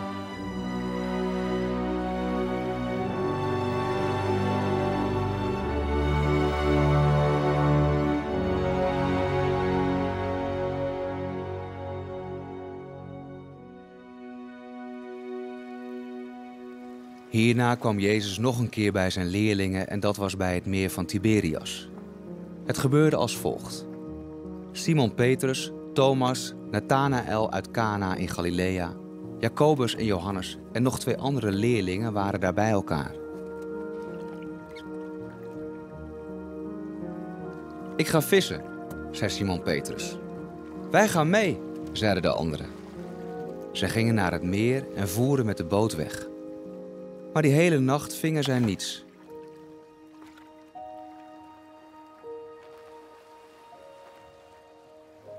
Toen het licht begon te worden, stond Jezus aan de oever van het meer. Maar zijn leerlingen herkenden hem niet. Jezus riep: Vrienden, hebben jullie iets te eten? Nee, antwoordden zij. Gooi het net uit aan de rechterkant van de boot, riep hij. Dan hebben jullie meer resultaat. Dat deden zij. En zij vingen zoveel vis dat ze het net niet eens aan boord konden krijgen. De leerling die Jezus' beste vriend was, zei tegen Petrus: Het is de Heer. Toen Simon Petrus dat hoorde, deed hij zijn bovenkleed aan, trok het omhoog tussen zijn riem en sprong in het water. De anderen kwamen met de boot en sleepten het volle net mee. Ze waren maar 100 meter van de kant af. Toen zij aan wal stapten, zagen ze een houtskoolvuur met vis erop en brood. Haal eens een paar van de vissen die jullie hebben gevangen, zei Jezus. Simon Petrus ging weer aan boord en trok het volle net op de oever. Er zaten 153 vissen in. En toch was het net niet gescheurd. Kom, zei Jezus, laten we gaan eten. Geen van de leerlingen durfde te vragen wie hij was. Ze begrepen nu wel dat het de Heere was. Jezus gaf hun brood en vis. Na zijn terugkeer uit de dood was dit de derde keer dat Jezus aan zijn leerlingen verscheen.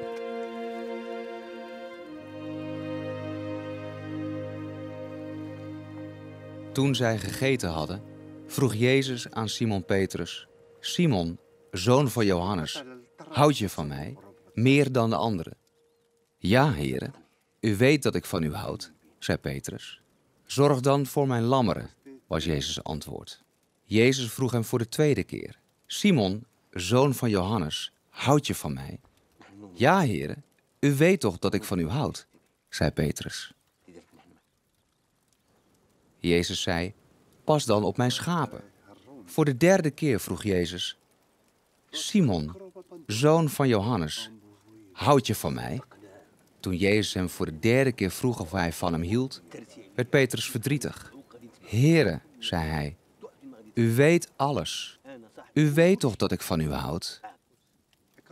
Zorg dan voor mijn schapen, zei Jezus. Luister, toen je jong was, maakte je je eigen plannen en ging waarheen je wilde. Maar als je ouder wordt, zul je niet meer zo vrij zijn. Anderen zullen plannen voor je maken en je brengen waar je niet wilt. Daarmee gaf hij aan hoe Petrus tot eer van God zou sterven. Jezus zei nog eens nadrukkelijk tegen Petrus dat hij hem moest volgen. Petrus keek achterom en zag dat ze door de leerling gevolgd werden die Jezus' beste vriend was.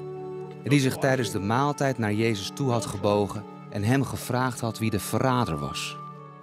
Toen Petrus hem zag, vroeg hij aan Jezus: En wat staat hem te wachten, heren? Jezus antwoordde: Als ik wil dat hij blijft tot ik terugkom, is dat niet jouw zaak. Het enige wat jij moet doen, is mij volgen. Onder de vrienden van Jezus deed daarna het verhaal de ronde dat die leerling niet zou sterven. Maar Jezus had niet gezegd dat hij niet zou sterven. Hij had alleen gezegd: Als ik wil dat hij blijft tot ik terugkom, is dat niet jouw zaak. En deze leerling is het die dit alles heeft geschreven. Wij weten dat dit verhaal betrouwbaar is.